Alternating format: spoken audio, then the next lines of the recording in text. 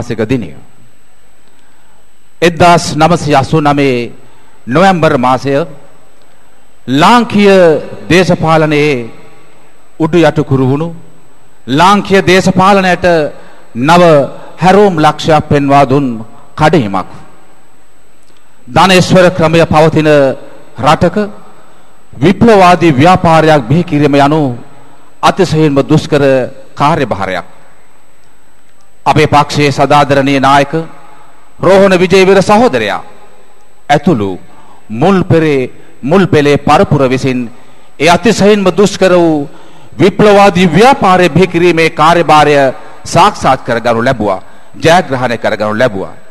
ස්වේච්ඡාවෙන් නිසරණාධ්‍යාසයෙන් ජනතාවට සේවය කිරීමේ දේශපාලන සංස්කෘතිය දේශපාලන කලාව ලාංකීය භූමිය මත යථාර්ථයක් බවට පරිවර්තනය කළ අසහාය ගුරුවරයා අසහාය නායකයා සදාදරණීය රෝහණ විජයවීර සහෝදරයා 1989 නොවැම්බර් 13 වෙනිදා සිත් පිත් නැති කුලී හේවායන් විසින් අපෙන් උදුරාගත්තද? ඔවුන්ගේ උස් ප්‍රාර්ථනාවන් කිසිදා මරා දමිය නොහැකි බවට ජනතා විමුක්ති පෙරමුණ විසින් අද වන විට ලාංකීය භූමිය මත පසක් කොට තිබෙන මොහොතකයි. ඉල් මහා 26 වන ඉල් මහා විරු සමරුව පැවැත්වීම උදෙසා සියලු විධි විධාන සූදානම් වෙන්නේ. මේ මොහොත වන විට 26 වන ඉල් මහා විරු සමරුව වෙනුවෙන් මේ වේදිකාවට මා දැඩි සහෝදරාත්මකව ආරාධනා කර සිටිනවා ජනතා විමුක්ති පෙරමුණේ නායක ආදරණීය අනුර දිසානායක සහෝදරයාට ජනතා විමුක්ති පෙරමුණේ ප්‍රධාන ලේකම් ආදරණීය ටිල්වින් සිල්වා සහෝදරයාට ජනතා විමුක්ති පෙරමුණේ දේශපාලන මණ්ඩල සභික ආදරණීය විජිත හේරස් සහෝදරයාට ජනතා විමුක්ති පෙරමුණේ දේශපාලන මණ්ඩල සභික ආදරණීය ලාල් කාන්ත සහෝදරයාට ජනතා විමුක්ති පෙරමුණේ මධ්‍යම කමිටු සමාජික ආදරණීය ජිනදාස කිතුලගොඩ සහෝදරයාට ජනතා විමුක්ති පෙරමුණේ මධ්‍යම කමිටු සමාජික ආදරණීය රාමලිංගම් චන්ද්‍රසේකර සහෝදරයාට ජනතා විමුක්ති පෙරමුණේ මධ්‍යම කමිටු සමාජිකා සමාජවාදී කාන්තා සංගමේ ජාතික සංවිධායිකා ආදරණීය සමන්මලි ගුණසිංහ සහෝදරියට. ජනතා විමුක්ති පෙරමුණේ මධ්‍යම කමිටු සමාජික සමාජවාදී ගොවි සංගමේ ජාතික සංවිධායක ආදරණීය නාමල් කරුණාරත්න සහෝදරයාට. ජනතා විමුක්ති පෙරමුණේ මධ්‍යම කමිටු සමාජික ආදරණීය නිහාල් ගලප්පත්ති සහෝදරයාට. සමාජවාදී ශිෂ්‍ය සංගමේ ජාතික සංවිධායක ආදරණීය රංගන දේවප්‍රිය සහෝදරයා තුළු සියලු සහෝදරවරුන්ට සහ සහෝදරියට වේදිකාවේ අසුන් ගන්න හැටියට දැඩි සහෝදරාත්මකව ඇරියොම් කර සිටිනවා.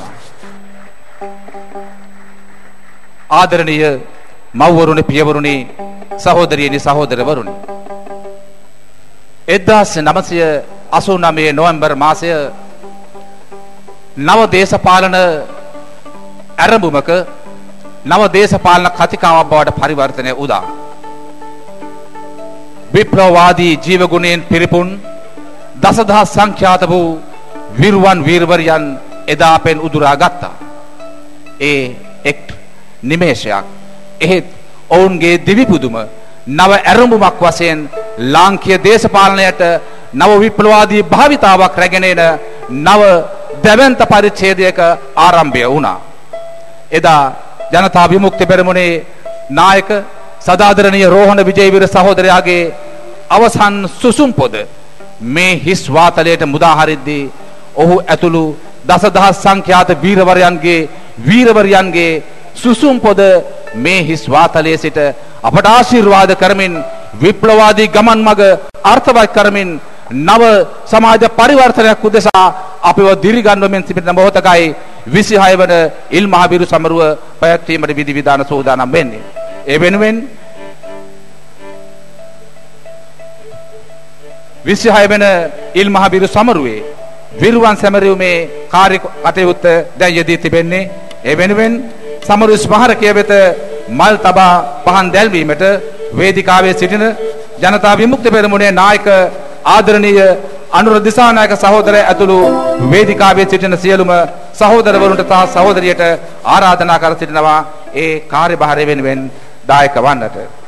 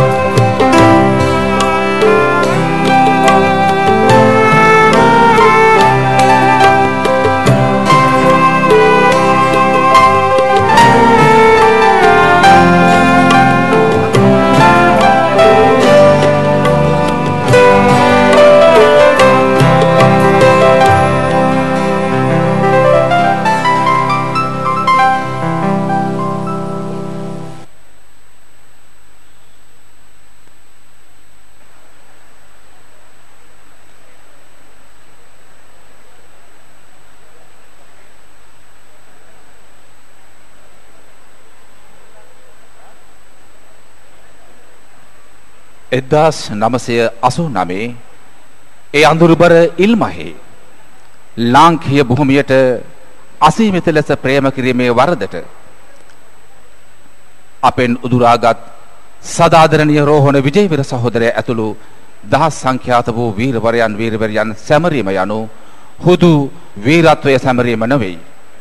ලාංකීය භූමියට නව සමාජ පරිවර්තනයක් වෙනුවෙන් සිය ජීවිත කුසුම් පවා පුද කළ හැකි පරිත්‍යාගශීලීත්වය නිසරණාධ්‍යාසයෙන් ජනතාවට සේවය කිරීම ඒ විප්ලවවාදී ජීව ගුණය ලාංකීය භූමියට හඳුන්වා දුන් අසහාය ගුරුවරයා. ජනතා විමුක්ති පෙරමුණේ නිර්මාතෘවරයා.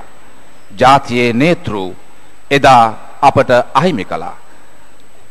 ධනේශ්වර රාජ්‍යතාන්ත්‍රයක් තුල නව විප්ලවාදී ව්‍යාපාරයක් බිහි කිරීමේ වරදට ඒ ජීව ගුණය සමාජය තුර වැපිරීමේ වරදට අපෙන් එදා ඔහු උදුරා ගත්තා.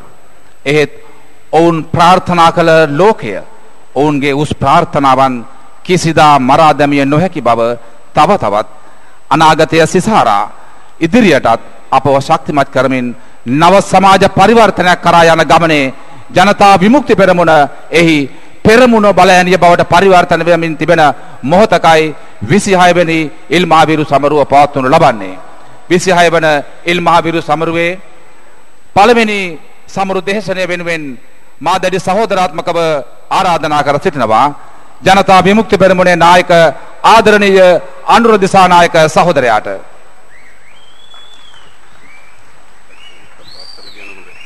එකපාරට කරලා කියන හොඳයි.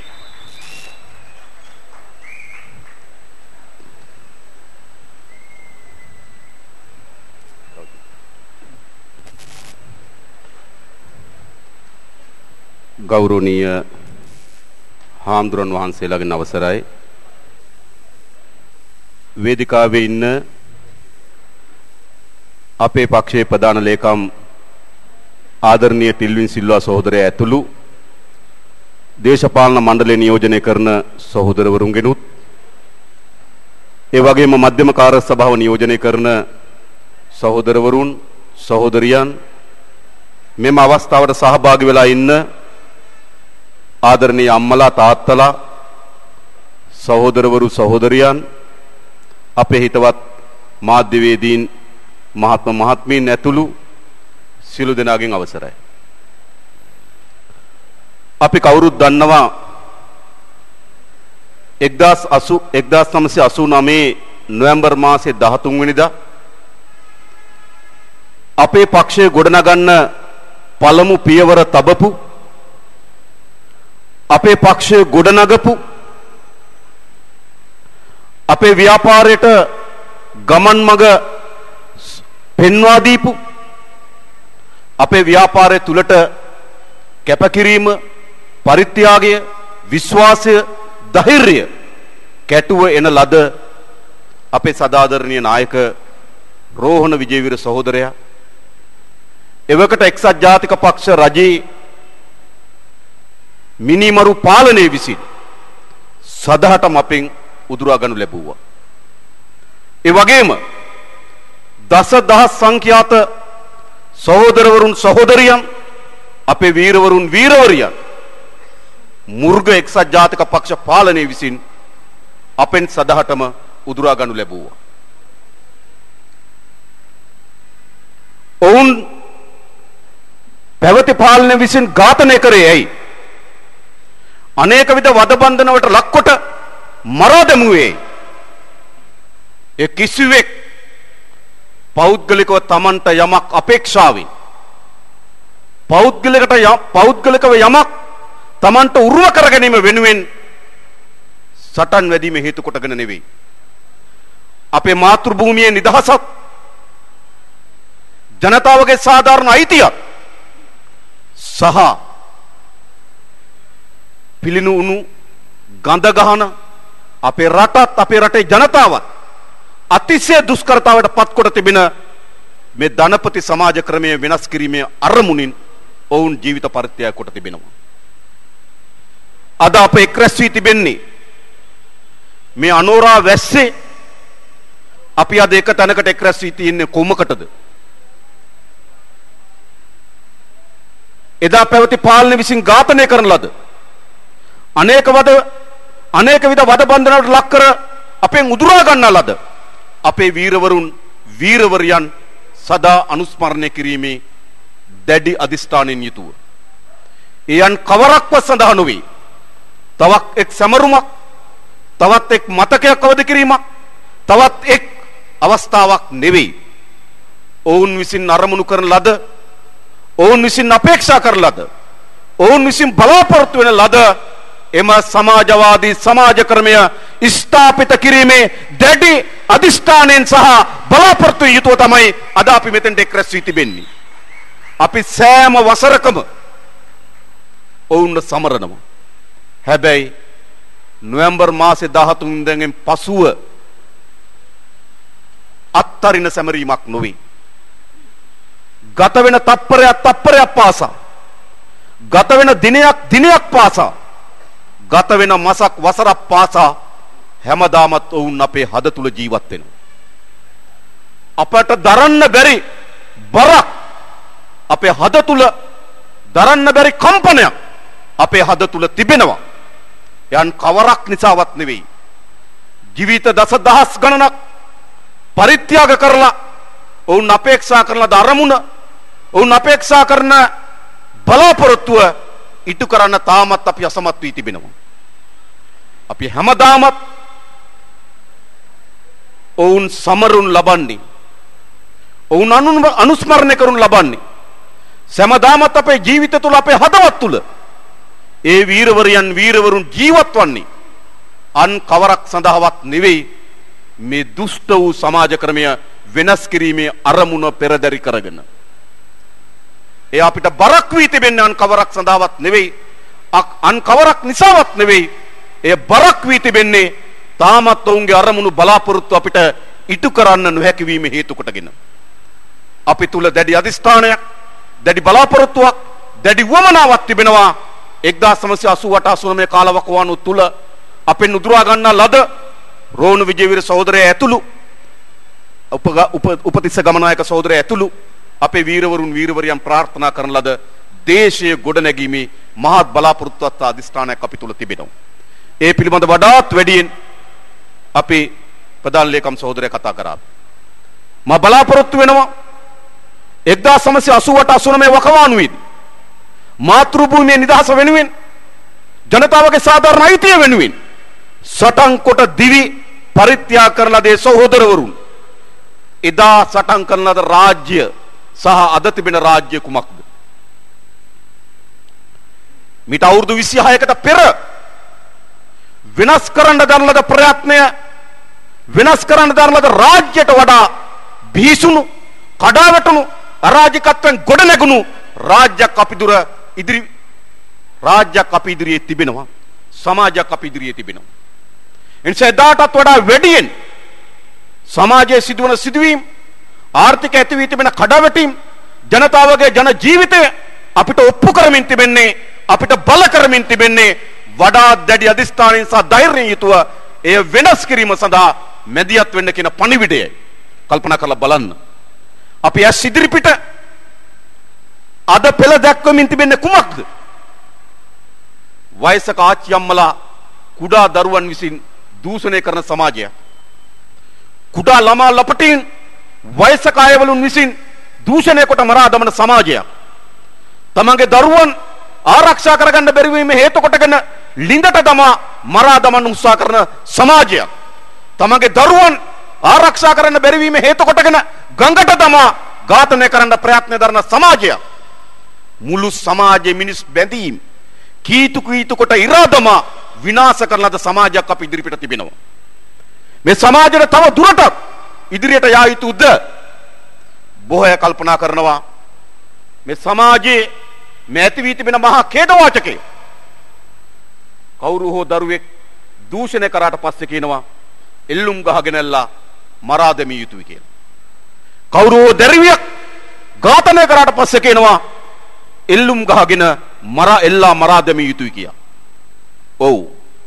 එල්ලා මරා දැමිය යුතු තත්වයක් තිබෙනවා.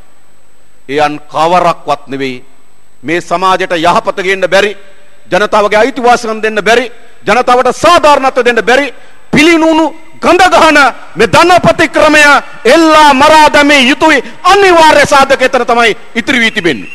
තව දුරටත් මේ සමාජ ක්‍රමයට මොකද්ද මේ සමාජයට ගේන්න පුළුවන්? මේ සමාජ ක්‍රමයට මොකද්ද මේ ජනතාවට ඉටු කරන්න පුළුවන්? තව දුරටත් කිසිවක් ඉතිරි කරන්න ඉඩ කඩක් මේ සමාජ ක්‍රමයට අත්පත් වෙලා නැහැ. අද බැලුවොත් ආර්ථික ඇති වී තිබෙන මහා ඛේදවාචකේ ආර්ථික ඇති වී තිබෙන මහා කඩාවැටීම තවදුරටත් අපේ රට අඟලක්වත් ඉදිරියට ගෙනියන්න පුළුවන් තත්වයක නෙවෙයි නිර්මාණය වෙලා තිබෙන්නේ.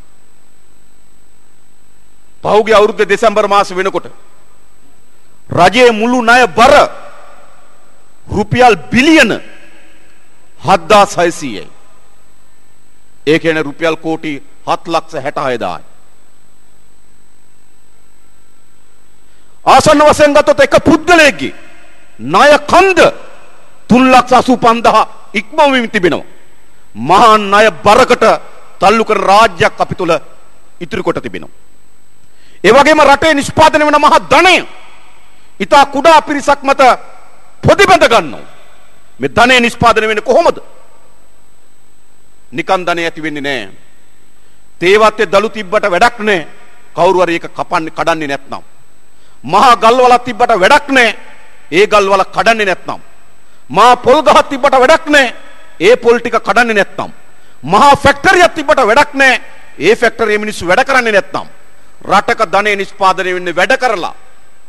තේවත්තේ දලු කඩලා රටේ ධනෙ නිෂ්පාදනය වෙනවා. මහා මූදේ මාළු ටික අල්ලලා රටේ ධනෙ නිෂ්පාදනය වෙනවා.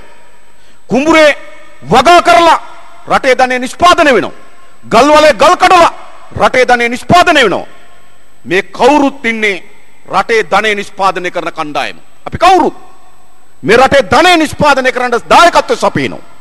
හැබැයි අපි එකතු කරන ධනය ඊටා කුඩා පිරිසක් පොදි බැඳ ගන්න සමාජ ක්‍රමයක් අපි ඉදිරියේ තිබෙනවා.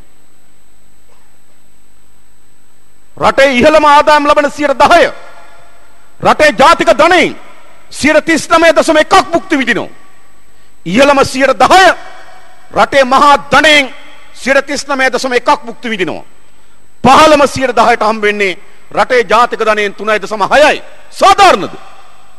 එක් ජන ප්‍රජාවක් 10ක කොට්ටාසයක් රටේ ජාතික ධනයෙන් 1.5ක් භුක්ති විඳිනකොට 1.5ක් භුක්ති විඳිනකොට ඉහළම ඉන්න 10 රටේ ජාතික ධනයෙන් 39.1ක් භුක්ති විඳිනවා. සාධාරණද මේක? රටේ ඉහළම 120 රටේ ජාතික ධනයෙන් 55ක් භුක්ති විඳිනකොට පහළම 120ට හම්බ වෙන්නේ රටේ ජාතික ධනයෙන් 3.5යි. සාධාරණද? ඉහළම 120 රටේ ජාතික ධනයෙන් 55ක් ප්‍රතිබඳ ගන්නවා. පහළම 120ට හම්බ වෙන්නේ රටේ ජාතික ධනයෙන් 3.5යි. අතිශය අසාධාරණ සමාජ ක්‍රමයක් අපි ඉදිරිපිට තිබෙනවා. පාරේ ගල් තලන ගල් තලන කම්කරුවා ගල් වලේ ගල් කඩන කම්කරුවා දෛනික වැටපු රුපියල් 1000යි උපරිම 1000ක් අරගෙන ඒකෙන් රුපියල් 400ක විතර මත්පැන් අරගෙන රුපියල් 600ක ගෙදර අරන් යනවා බඩු. ඒ පවුල කොහමද ජීවත් වෙන්නේ? ඔවුන්ට හරියම ආහාර වෙලක් නැහැ. ඔවුන්ගේ දරුවන්ට අධ්‍යාපනයක් නැහැ. ඔවුන්ට මානසික සුවයක් නැහැ. විනෝදයක් නැහැ. මිනිස් පුරුට බවට අපේ මහා සමාජයේ බහුතර ජනපජාවක් අත්පත් කරලා දාලා තිබෙනවා. ආණ්ඩුවේ වාර්තාම කියනවා. රටේ ජනගහනය 43ක ආදායම පෞගේ දා රනිල් වික්‍රමසිංහ මහත්මයා තමගේ මධ්‍යකාලීන ආර්ථික වැඩපිළිවෙල ඉදිරිපත් කළ පාර්ලිමේන්තුවට කියනවා රටේ සිට 43ක ආදායම දවසක ආදායම ඩොලර් දෙකට අඩුයි. ඒ කියන්නේ මොකද්ද? රටේ ජනගහනය සිට 43ක ආදායම රුපියල් 280ට අඩුයි දවසකට. එනිසා මේ සමාජ ක්‍රමයට මේ රටේ ජනතාව සුවපත් කරන්න පුළුවන්ද?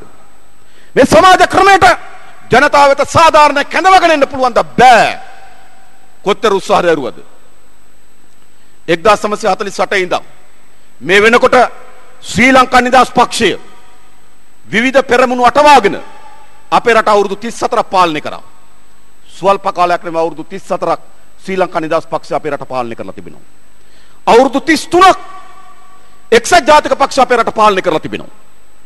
1948 සිට දෙදස් පහළව දක්වා ගතවෙච්ච අවුරුදු හැට හත ශ්‍රී ලංකා නිදහස් පක්ෂ අවුරුදු තිස් සතරකුත් එක්සත් ජාතික පක්ෂ අවුරුදු තිස්තුනකුත් පාලනය කරලා තිබෙනවා. දැන් ලංකායි පළවෙනි වතාවට එක්සත් ජාතික පක්ෂයත් ශ්‍රී ලංකා නිදහස් පක්ෂත් එකතු වෙලා අවුරුද්ධකට ආසන්න කාලයක් දැන් රට පාලනය කරමින් තිබෙනවා. ශ්‍රී ලංකා නිදහස් පක්ෂ වෙනම රට පාලනය කරා. එක්සත් ජාතික පක්ෂ වෙනම රට පාලනය කරා. දැන් ඒ දෙගොල්ලෝ එකට එකතු වෙලා රට පාලනය කරමින් තිබෙනවා. ඒ සඳහා වූ මධ්‍යකාලීන ආර්ථික සැලැස්ම පහුගිය පස්වනිදා අග්‍රාමාත්‍ය රනිල් වික්‍රමසිංහ මහත්මයා පාර්ලිමේන්තු ඉදිරිපත් කරා. මධ්‍යකාලීන ආර්ථික සැලැස්ම.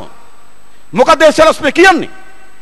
ඒ සැලැස්ම කිසිසේත්ම අපේ රටත් අපේ රටේ ආර්ථිකයත් අපේ රටේ ජනතාවත් බිඳුවකින් හෝ ඉදිරියට ගෙන යන්න පුළුවන් ආර්ථික සැලැස්මක් නෙවෙයි.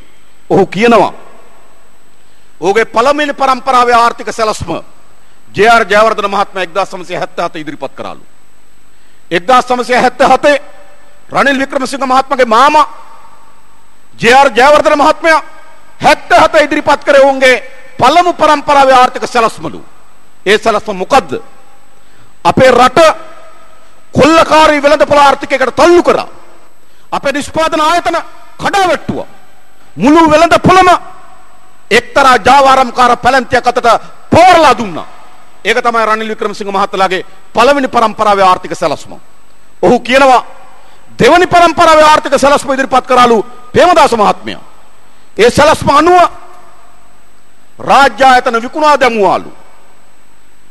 ඒක තමයි දෙවනි පරම්පරාවේ ආර්ථික සැලැස්ම කියලා රනිල් වික්‍රමසිංහ මහත්මයා කියනවා. දැන් ඔහු ඉදිරිපත් කරනවලු තුන්වෙනි පරම්පරාවේ ආර්ථික සැලැස්ම. 1977 ඔහු කියන පරිදි ජේ.ආර් ජයවර්ධන මහත්මයා ඉදිරිපත් කරා පළවෙනි පරම්පරාවේ ආර්ථික සැලැස්ම. 1988 දී ඔහු කියන පරිදි ප්‍රේමදාස මහත්මයා ඉදිරිපත් කරා දෙවනි පරම්පරාවේ ආර්ථික සැලැස්ම. දැන් තුන්වෙනි පරම්පරාවේ ආර්ථික සැලැස්ම ඉදිරිපත් කරනවලු රනිල් වික්‍රමසිංහ මහත්මයා. දැන් තුන්වෙනි පරම්පරාවේ ආර්ථික සැලැස්ම ගලන්න කලින් ඒ පරම්පරා දෙකේ ආර්ථික සැලැස්ම අපේ රට ඉදිරියට ගෙන යන්න බැරි වෙච්ච බව අපේ ආර්ථිකය කඩාවැටුපු බව අපේ රට ණය උගලක හිර කරපු බව සමාජ අපරාධ වැඩි කරපු බව සමාජයේ සියලු බැඳීම් සියලු මානසික හැඟීම් කීතු කීතු කොට විනාශ කරපු බව අද අපි ඇත් සිදිරිපිට ඔප්පුකට හමාරයි. ඒ නිසා රනිල් මහත්තයෝ ඔයාගේ පළමු පරම්පරාවේ ආර්ථික සැලැස්ම අසාර්ථකයි. දෙවනි පරම්පරාවේ ආර්ථික සැලැස්මත් අසාර්ථකයි. දැන් ඔහු ඉදිරිපත් කරනවා තුන්වෙනි පරම්පරාවේ ආර්ථික සැලැස්ම. මොකක්ද ඒක කියන්නේ? පළමු කොටම ඔහු කියනවා. ලංකා හොස්පිටල් ඒ කියන්නේ ලංක ආණ්ඩුව සතුව තිබෙන මුදල් ගෙවා බෙහෙත් කරන ඉස්පිරිතාලේ ලංකා හොස්පිටල් ආයතනය. ඒක අයිතිව තිබෙන ශ්‍රී ලංකා රක්ෂණ සංස්ථාව. ඕක කියනවා ලංකා හොස්පිටල් ආයතනයත් හෝටල් සංස්ථාව සතුව තිබෙන හෝටල් ටිකත් විකුණන්න සූදානම්. ඇද නැතුව වංගු නැතුව රනිල් වික්‍රමසිංහ මහත්තයා කෙලින්ම කියනවා ලංකා හොස්පිටල් ඇතුළු හෝටල් සංස්ථාවට අයිති හෝටල් ටික විකුණා දමනවා. ඔහුගේ සැලැස්ම. ඊළඟ ඔහු කියනවා රාජ්‍ය ව්‍යවසායකයන් තිබෙනවා. ශ්‍රී ලංකා රක්ෂණ සංස්ථාව, එයා ලංකා එක, ගුවන්තොටුපළ සමාගම, මිල්කෝ ආයතනය, පෙට්‍රෝලියම් එක, ගෑස් සමාගම මේ ආදි රාජ්‍ය ව්‍යවසායකයන් ටික එකතු කරලා සිංගප්පූරුවේ හැදුවා වගේ රාජ්‍ය ව්‍යවසායන් සම්බන්ධ සමාගමක් පිහිටවනවලු. එයා ලංකා ගත්තේ සමාගමේ ඉන්සූර් ශ්‍රී ලංකා රක්ෂණ සංස්ථාවත් ඒ සමාගමේ පෙට්‍රෝලියම් එකත් ඒ සමාගමේ ගෑස් සමාගමත් ඒ සමාගමේ ඊට පස්සේ ඒ සමාගමේ කොටස් මහජන භාරය කියලා භාරයක් හදලා ටික ටික ටික ටික ඒ භාරයට විකුණනවා. ඒ කියන්නේ මොකද්ද? රාජ්‍ය සම්පත් සියල්ල යලි ජාවාරම්කාර පැලැන්තියක් අතට පත් කිරීමේ ආර්ථික සැලැස්ම තමයි රනිල් වික්‍රමසිංහ මහත්මයාගේත් මෛත්‍රීපාල මහත්මයාගේත් රනිල් මෛත්‍රී හවුල් ආණ්ඩුවේ මධ්‍යකාලීන ආර්ථික සැලැස්ම. එතනින් නතර වෙන්නේ නැහැ. එතනින් නතර වෙන්නේ නැහැ ඔහු කියන මොකද්ද? EPF එකත් ETF එකත් එකතු කරලා ලංකාවේ ගොඩ නැගෙන ශක්තිමත් මාරමුදල. ඔව් ශක්තිමත් මාරමුදල තමයි. ට්‍රිලියනයක් තියෙනවා. රුපියල් ට්‍රිලියනයක් තියෙනවා EPF එකේ. 1.12. විශාලතම අරමුදලක්. දැන් මොකද යෝජනා කරන්නේ? EPF එක ETF එක එකතු කරලා ඒක වෙනම භාරයක් බවට පත් කරනවා. මොකක් වෙනුවෙන්ද? EPF එක ETF එකට අත තියන්න චන්ද්‍රිකා කුමාරතුංග මෙතන ආණ්ඩුව කසකෑවා. ඒ විදිහටම රනිල් වික්‍රමසිංහ මහත්තයාගේ අවුරුදු දෙකේ ආණ්ඩුව කසකෑවා. ඒ වගේම පහුගිය මහින්ද රාජපක්ෂ මහත්තයාගේ ආණ්ඩුවත් EPF ETF එකට අත තියන්න කැසකෑව අපිට මතකයි. දැන් යලි රනිල් වික්‍රමසිංහ මෛත්‍රීපාල ශ්‍රී ලංකා එක්සත් ජාතික පක්ෂ හවුල් ආණ්ඩුව කියනවා EPF ETF එකතු කරලා වෙනම සමාගමක් පිහිටවනවා. එතනින් අතර වෙන්නේ නැහැ. ඔහු කියනවා මොකද්ද? සාම්ප්‍රදායික විශ්‍රාම ක්‍රමයක් තියෙනවා අපේ රටේ. මේ විශ්‍රාම ක්‍රමය සාම්ප්‍රදායිකයි. ඒ නිසා සාම්ප්‍රදායික විශ්‍රාම ක්‍රමය වෙනුවට අලුත් විශ්‍රාම ක්‍රමයක් විශ්‍රාම වැටුප් යෝජනා ක්‍රමයක් ඔහු යෝජනා කරන්න සූදානම් වෙනවා. එය කිසිසේත්ම ජනතාවගේ සේවාවන් පුළුල් වෙන ජනතාවගේ අයිතේ තහවුරු වෙන සැලැස්මක් නෙවෙයි. විශ්‍රාම වැටුපත් EPF ETF අරමුදලත් ජනතාවට අහිතකර ලෙස උපයෝග කරගෙන ගැනීම සඳහා දරන ප්‍රයත්නයක්. ඒ වගේම ඔහු කියනවා ලෝකේ ඉන්න ප්‍රධාන පෙළේ ආයෝජකයන් ලංකාවට කැඳවනවා කියලා. අපිට මතකයි ඒ වාගේ ආයෝජකයෙක් ගෙනාවා මහින්ද රාජපක්ෂ මහත්මයා. ඒ තමයි ජේම්ස් පැකර්. ලෝකේ ඉන්න කැසිනෝ රජා ගෙනාවා. පොදු රාජ්‍ය මණ්ඩලයේ නායක සමුළුව තියෙනකොට ඒ සමුළුවට සමාන්තරව තිබ්බා ආර්ථික සමුළුවක්. ඒ ආර්ථික සමුළුවේ ප්‍රධාන කතිකේ බවට පත් වී තිබුණේ ජේම්ස් පැකර් ලෝකේ ඉන්න කැසිනෝ රජා. හැබැයි රනිල් වික්‍රමසිංහ මහතා යෝජනා කරන කවුද? ඔහු ලෝකේ ප්‍රධාන ආයෝජකයෙක් හැටියට කැඳවනවලු ජෝර්ජ් සෝරෝස්. ඔහුගේ මධ්‍යම කාලීන ආර්ථික සැලැස්ම කියලා ජෝර්ජ් සෝරෝස්. ජෝර්ජ් සෝරෝස් කියන්නේ කවුද? 1989 දී ප්‍රංශයේ වෙළඳ පොලේ ඇති කරන ලද කුමන්ත්‍රණයක් හේතු කොටගෙන ප්‍රංශය විසින් නඩු දැම්මා. 1996 දී නඩුව අවසන් වුණා. ජෝර්ජ් සෝරෝස්ට ඩොලර් 9,40,000ක වන්දියක් ගෙවන්න සිද්ධ වුණා. ඒ විතරක් නෙවෙයි 1996 වසරේදී 1992 වසරේදී එංගලන්තේ ඩොලර් බිලියන 10ක් එක විට එක විට පවුම් වලට පරිවර්තනය කරා. පරිවර්තනය කිරීම හේතු කොටගෙන ඩොලර් බිලියනක අයිතු ලාභයක් ලැබුවා. ඒ වෙලාවේ එංගලන්තයේ ඔහු හැඳුන්වුවේ බැංකු කැඩූ පුද්ගලයා කියලා. George Soros. ඊළඟ පහුගිය කාලේ අග්නිදිග ආසියානු රටවල ඇතිවෙච්ච අර්බුදයේදී තායිලන්තය මැලේසියාව සිංගප්පූරුව දකුණු කොරියාව ඇතුළු රාජ්‍යයන්ගේ 1997 විශාල මූල්‍ය අර්බුදයක් ඇති වුණා. ඒ මූල්‍ය අර්බුදය වෙලාවේදී මැලේසියානු අගමැති මහතිර් මොහමඩ් පැහැදිලිව කිව්වා මේ අර්බුදය ඇති කරේ ජෝර්ජ් සෝරොස් කියලා. ඔහු තමයි මේ අර්බුදේ වග උත්තරකරුවා කිව්වා. ඒ විතරක් නෙවෙයි හංගේරියානු ජනාධිපතිවරයා මෑතකදී ප්‍රකාශ කළා තිබුණා ජාතික රාජ්‍යම් බිඳවට්ටන ජාතික මූල්‍ය අරබු මූල්‍ය අරබුදෙන් ඇති කරන ජාවාරම්කාරී ජෝර්ජ් සෝරොස් දැන් රනිල් වික්‍රමසිංහ මහත්තයා පාවඩ එලලා දොරටු විවෘත කරන්න හදන්නේ ඒ ජෝර්ජ් සෝරොස්ලට. එනිසා අද රනිල් මෛත්‍රී හවුල් ආණ්ඩුව ශ්‍රී ලංකා නිදහස් පක්ෂය එක්සත් ජාතික පක්ෂ හවුල් ආණ්ඩුව ඔප්පු කරමින් තිබෙන්නේ නව ආර්ථික දැක්මක් නව ආර්ථික දර්ශනයක් නව ආර්ථික ගමනක් කෙසේ වෙතත් පරණ ගමනේම වේගෙන් යන්න දරන උත්සාහයක් තිබෙනවා. එනිසා අද මේ දියත් කරන්න හදන කොල්ලකාරී ආර්ථික ක්‍රමයට එරෙහිව මේ රටේ ජනතාව වෙනදාටත් වඩා වැඩියෙන් සංවේදී යුතු වෙනදාටත් වඩා වැඩියෙන් අවදි කළ යුතු වෙනදාටත් වඩා වැඩියෙන් දැනුවත් කළ යුතු අවධියකට අපි අවතීර්ණ වෙලා තිබෙනවා. ඒක අභියෝගයක් අපි හමුවේ තිබෙන. ඊළඟ අපි දන්නවා දැන් මතුවී තිබෙනවා ජිනීවා යෝජනා පිළිබඳ ප්‍රශ්නයක්. යුද්ධය අවසන් වුණා 2009 මැයි මාසේ 19 වෙනිදා. යුද්ධෙන් පසුව ගත යුතු ප්‍රතිසංස්කරණ ගණනාවක් තිබුණා. මේ කිසි ආණ්ඩුවක් ගත යුතු වහාම ක්‍රියාමාර්ග අනුගමනය කරන්න අසමත් වුණා. ඔවුන් අපේ රට භූමියක් හැටියට එකතු කරාට ජනතාවක් හැටියට එකතු කරන්න අසමත් වුණා. භූමියක් හැටියට එකතු වුණා. එල්ටීඩි සංවිධානය සතුව තිබුණ භූමිය ලංකා ආණ්ඩුව පාලනයට ගත්තා. භූමිය එකතු වුණා. හැබැයි උතුරේ ජීවත් වුණු ජනතාවයි දකුණේ ජීවත් වන ජනතාවයි එකතු කරන්න අසමත් වුණා. එකතු කරනවට වෙනුවට කරේ මොකද්ද? සැකය වැඩි කරා. අවිශ්වාසය වැඩි කරා. ක්‍රෝධය වැඩි කරා. වෛරය වැඩි කරා. ඈත් කරා. මේකයි සිද්ධ කරේ. යුද්ධ අවසන් වූ වහාම අපි කියන්නේ මොකද්ද? මේ සිදුවෙච්ච සිදුවීම් සොයා බලා නැවත එවැනි සිදුවීම් සිදුවීම වැළැක්වීම වෙනුවෙන් සත්‍ය සෙවීමේ කමිෂන් සභාවක් දැමිය යුතු කියලා අපේ යෝජනාව.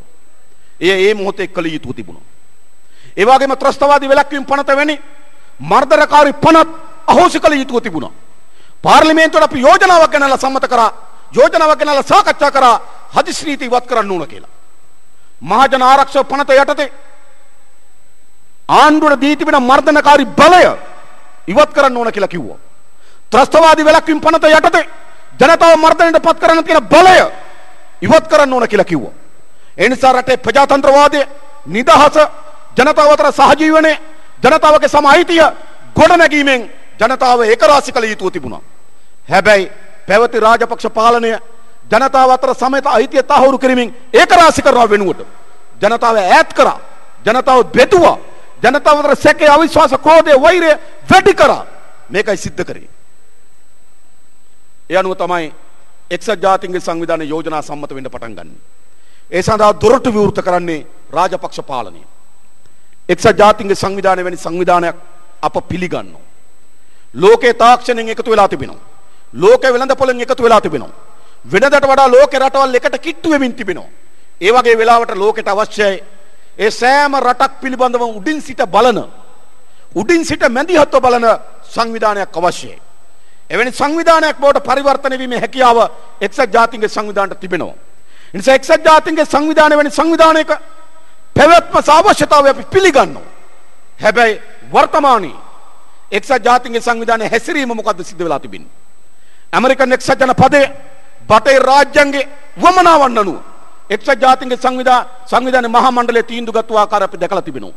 එක්සත් ජාතීන්ගේ සංවිධානයේ ආරක්ෂක මණ්ඩලය තීන්දුව ගති ආකාරය අපි දැකලා තිබෙනවා. නිසා එක්සත් ජාතීන්ගේ සංවිධානය ඇමරිකන් එක්සත් ජනපදය ඇතුළු බටහිර රාජ්‍යන්ගේ තමන්ගේ දේශපාලන යුදමය වමනාවන් ලෝකයේ වෙත පවර පැටවීම සඳහා ආක්‍රමණය කිරීම සඳහා ආයතනයක් හැටියට අද උපයෝග කරගෙන තිබෙනවා.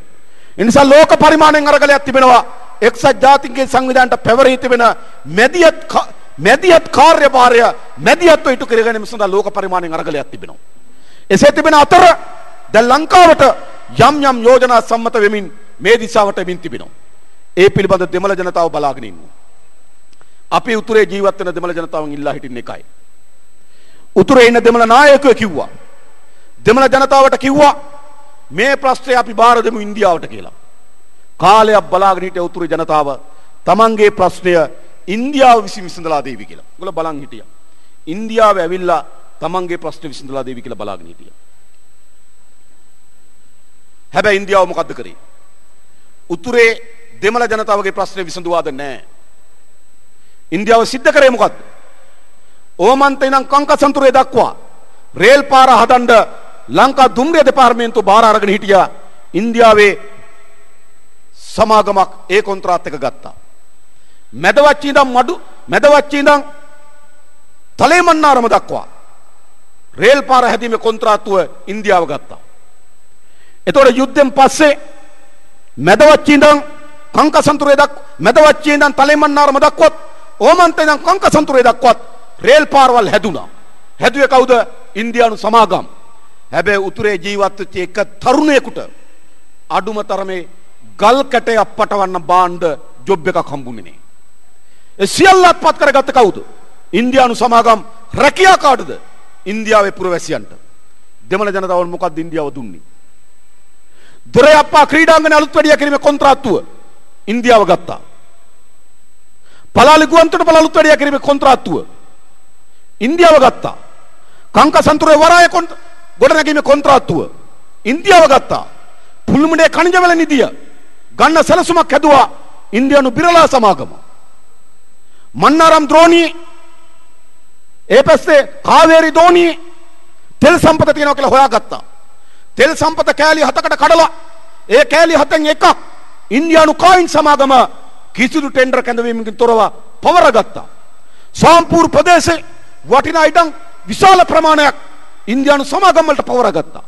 නීලාවැලි මුහුදු තීරේ නීලාවැලි මුහුදු තීරේ ඉතා වටිනා සම්පත් වටිනා ඉඩම් ඉන්දියානු හෝටල් වලට ඉඩ දුන්නා. ඉන්ද උතුරු නැගෙනහිර මුහුදු තීරයේ මාළු සම්පත ඉන්දියාව අදත් ඇවිල්ලා දැහැගෙන යන්න පටන් ගත්තා. එනිසා උතුරේ දෙමළ ජනතාවට මොකක්ද ඉන්දියාව දුන්නේ? එදත් දෙමළ නායකින් උතුරේ ජනතාවට කිව්වා අපේ ප්‍රශ්නය ඉන්දියාව විසඳලා දෙයි කියලා. ඉන්දියාව විසඳුවේ නැහැ. ඉන්දියාව කොන්ත්‍රාට් එක ගත්තා රේල් පාරවල් කොන්ත්‍රාත්, පලාලි ගුවන්තොටුපළේ කොන්ත්‍රාත්, කංකසන්තුරේ වරාය කොන්ත්‍රාත් එක, දොරයප්පා ක්‍රීඩාංගණයේ කොන්ත්‍රාත් එක, වෙරළ තීරයේ ඉඩම් ටික, සාම්පූර් වල ඉඩම් ටික කෙල බැල්ම හැලුවා කනිද සම්පත් තැනට බැල්ම හෙළුවා තෙල් සම්පතට දෙමළ ජනතාවට මුකුත් දුන්නේ නැහැ. අදත් උතුරේ දෙමළ නායකින් දෙමළ ජනතාවට කියනවා තමන්ගේ ප්‍රශ්නය ඇමරිකාව සහ බටහිර විසඳලා දෙයි කියලා. දෙයිද? ඇමරිකාව ලෝකේ ගොඩක් රටවල් වලට ගියා. හැබැයි කොයි රටේද ඒ ජනතාවගේ ප්‍රශ්නේ විසඳුවේ? ඉරාකයට ගියා. සදාම් පාලනේ බිඳ වැට්ටුවා. ඇමරිකාවේ ප්‍රශ්නේ විසඳගත්තා. ඉරාකේ ජනතාවගේ ප්‍රශ්නේ විසඳුවද නැහැ. ඉරාකය අද මරා එකිනෙකා මරා ගන්න රාජ්‍යයක් බවට පත් වුණා. එක පැත්තකින් සුන්නි ඉරාකයක්, අනිත් පැත්තෙන් සියා ඉරාකයක්, අනිත් පැත්තෙන් කුර්දිස්තාන පැත්තෙන් තවත් ඉරාකේ කෑල්ලක්. ඉරාකේ තුනට කඩනවා අද ඉරාකේ ජනතාව එකිනෙකා එකට වැසිච්ච රටේ එකට එකට ඉපදිච්ච රටේ එකිනෙකා එන්න කොටා ගන්න ගනිමින් ජීවිත දහස් ගණනක් මියදමින් තිබෙනවා. හැබැයි ඉරාකයට ඇමරිකාව ගියෙත් ඉරාකේ ජනතාවගේ ප්‍රශ්න විසඳන්න. ජනතාවගේ ප්‍රශ්න විසඳුවේ නැහැ. හැබැයි ඇමරිකාවේ ප්‍රශ්න විසඳගත්තා සදාම් පළව හැරියා. ලිබියාවට ගියා. ලිබියාවේ ජනතාවට ප්‍රජාතන්ත්‍රවාද නැහැ කිව්වා. මානව හිමිකම් නැහැ කිව්වා.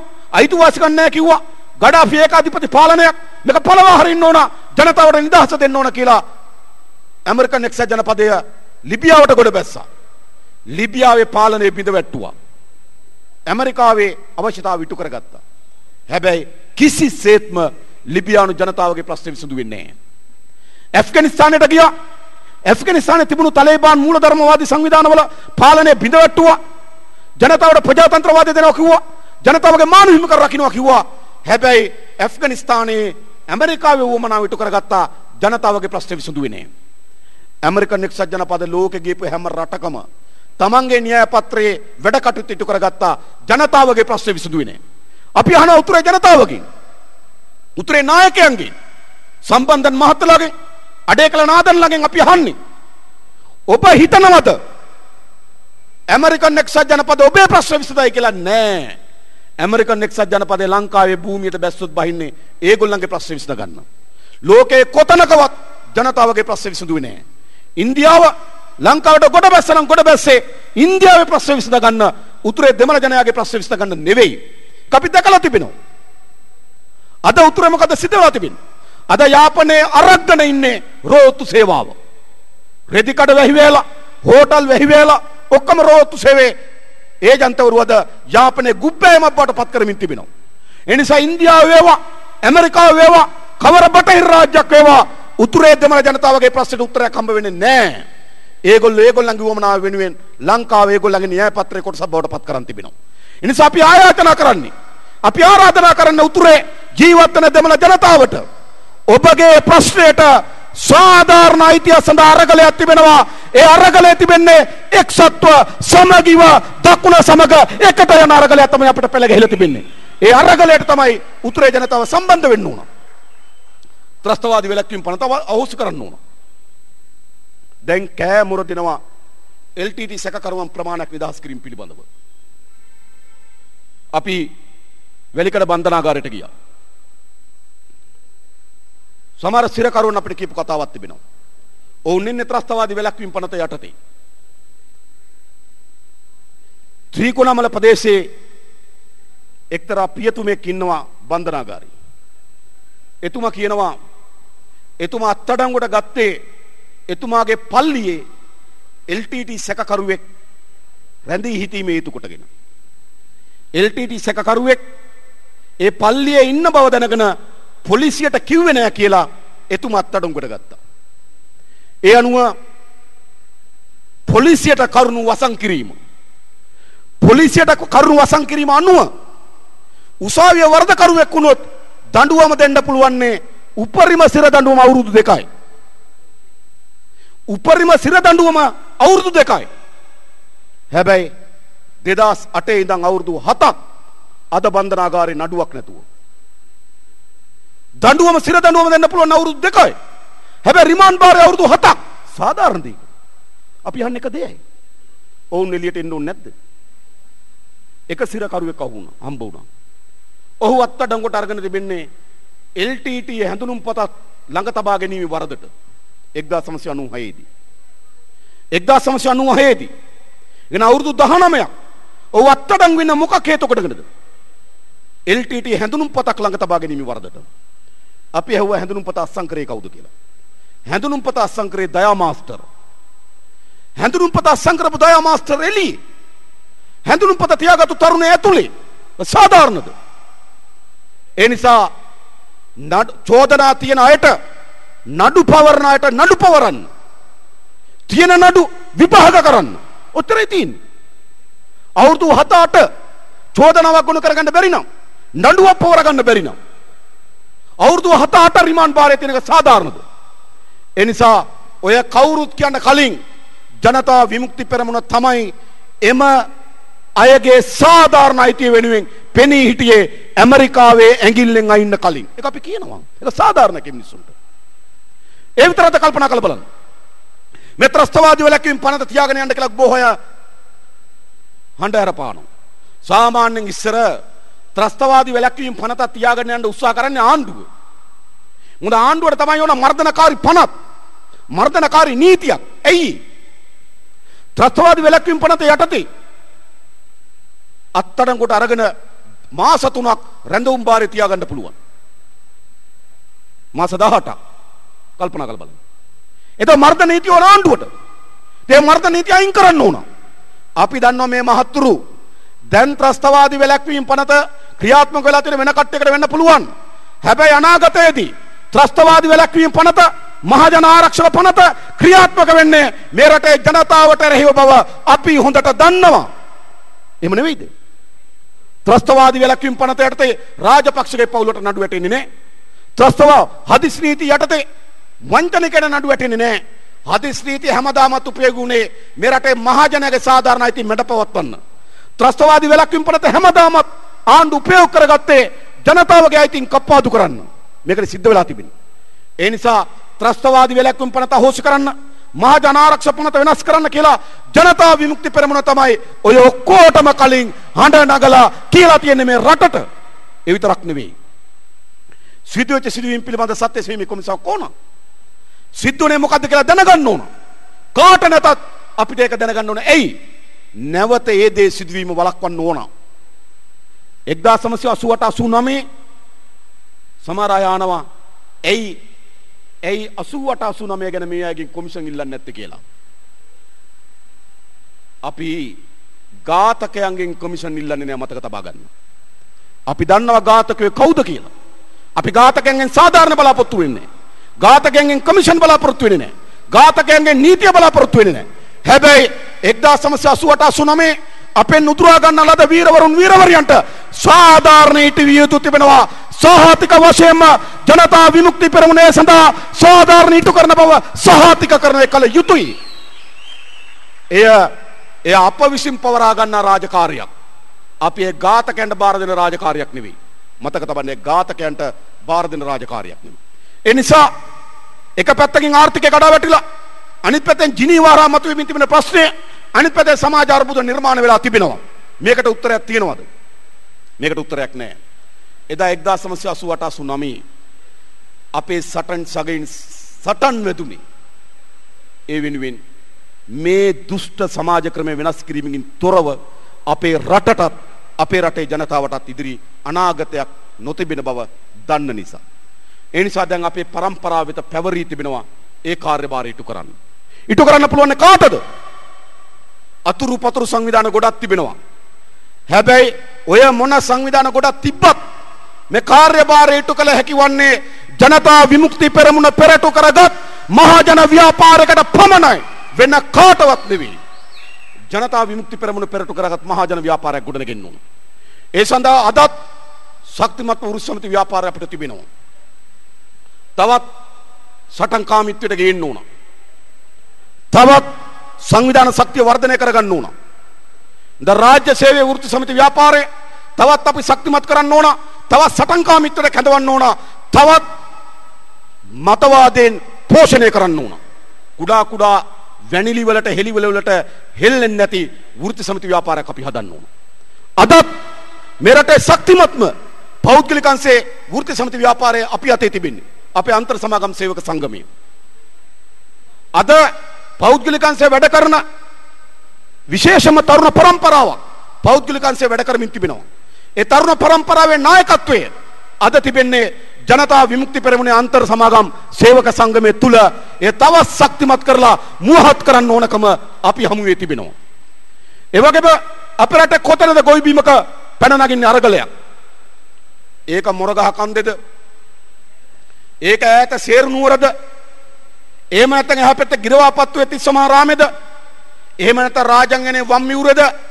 එහෙම නැත්නම් මැදවච්චේ හොරෝපතානේද? අපේ රටේ ගොවි ජනතාව වෙනුවෙන් අරගල කරන සටන් කරන ගොවි ජනතාව සම්බන්ධ වෙන එකම සටන් මධ්‍යස්ථානය තියෙන්නේ ඒ සමස්ත ලංකා ගොවි ජන ව්‍යාපාරය තවත් එක ශක්තිමත් කරන්න ඕන. ඒක ශක්තිමත් කරන්න ඕන. ඇතිද? මදි. ඇතිනම් දැන් වැඩේ අවසන් වෙන්න ඕන. තව මදි. එනිසා ව්‍යාපාරය අපි හදන්න ඕන. හදන්න පුළුවන්. ඉදිරියේදී රනිල් වික්‍රමසිංහ මහත්තයාගේ මුළු සලස්වම එන්නේ. ගොවි බිම් පොඩි පට්ටම් කරමින් යන ගමනක්.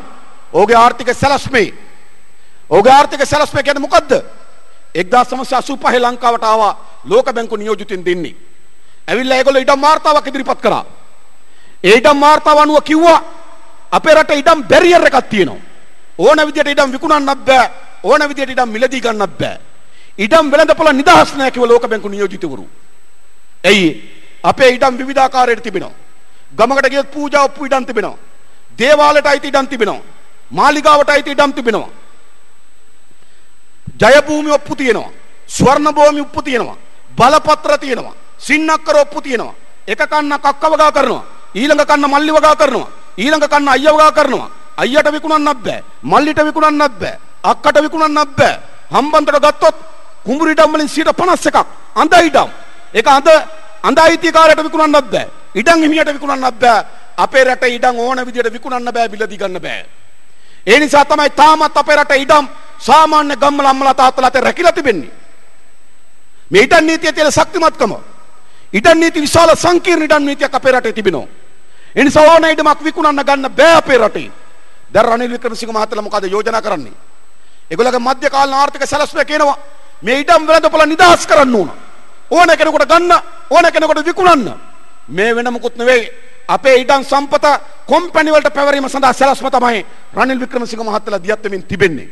ඒ නිසා වෙනදාටත් වඩා වැඩියෙන් වේගෙන් සටන ඇවිලෙන්නේ අරගල ඇරවිලෙන්නේ ගොවි බිම් සිසාරා පැන නගින අරගලයක් තිබෙනවා සටනක් තිබෙනවා ඒකට නායකත්ව දෙන්න ගොවි ජන ව්‍යාපාරය අපි ගොඩනගන්න ඕන. ඒකේ ශක්තිමත් ව්‍යාපාරය තවත් ශක්තිමත් කළ යුතු තිබෙනවා.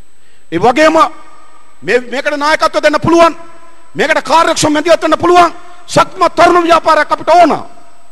එහෙම නැතුව මේ අභියෝගයට අපිට ඉස්සරහට යන්න බෑ.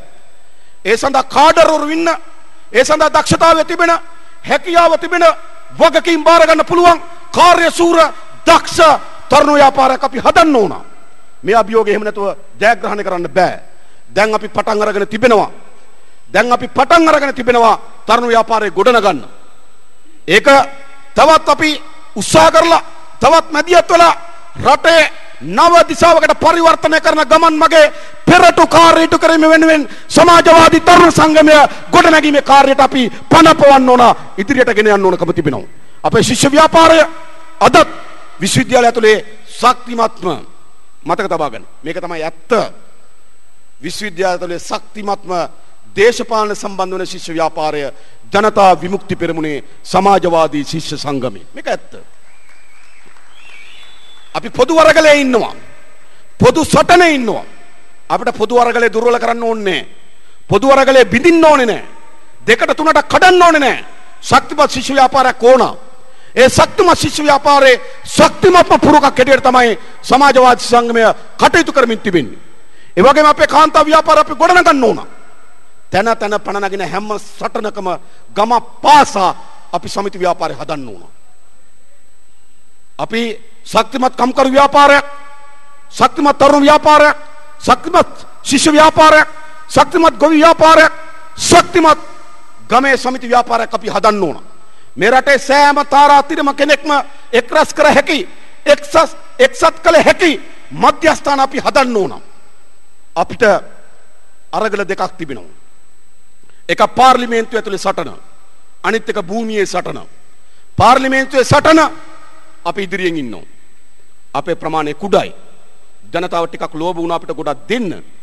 හැබැයි ඒ ප්‍රමාණය කුඩා වුණත් පාර්ලිමේන්තුවේ ශක්තිමත්ම අරගලය සටන දියත් කර තිබෙන බව දැන් සිදුවෙන සිදුවීම් වලින් පෙන්눔 කරමින් තිබෙනවා.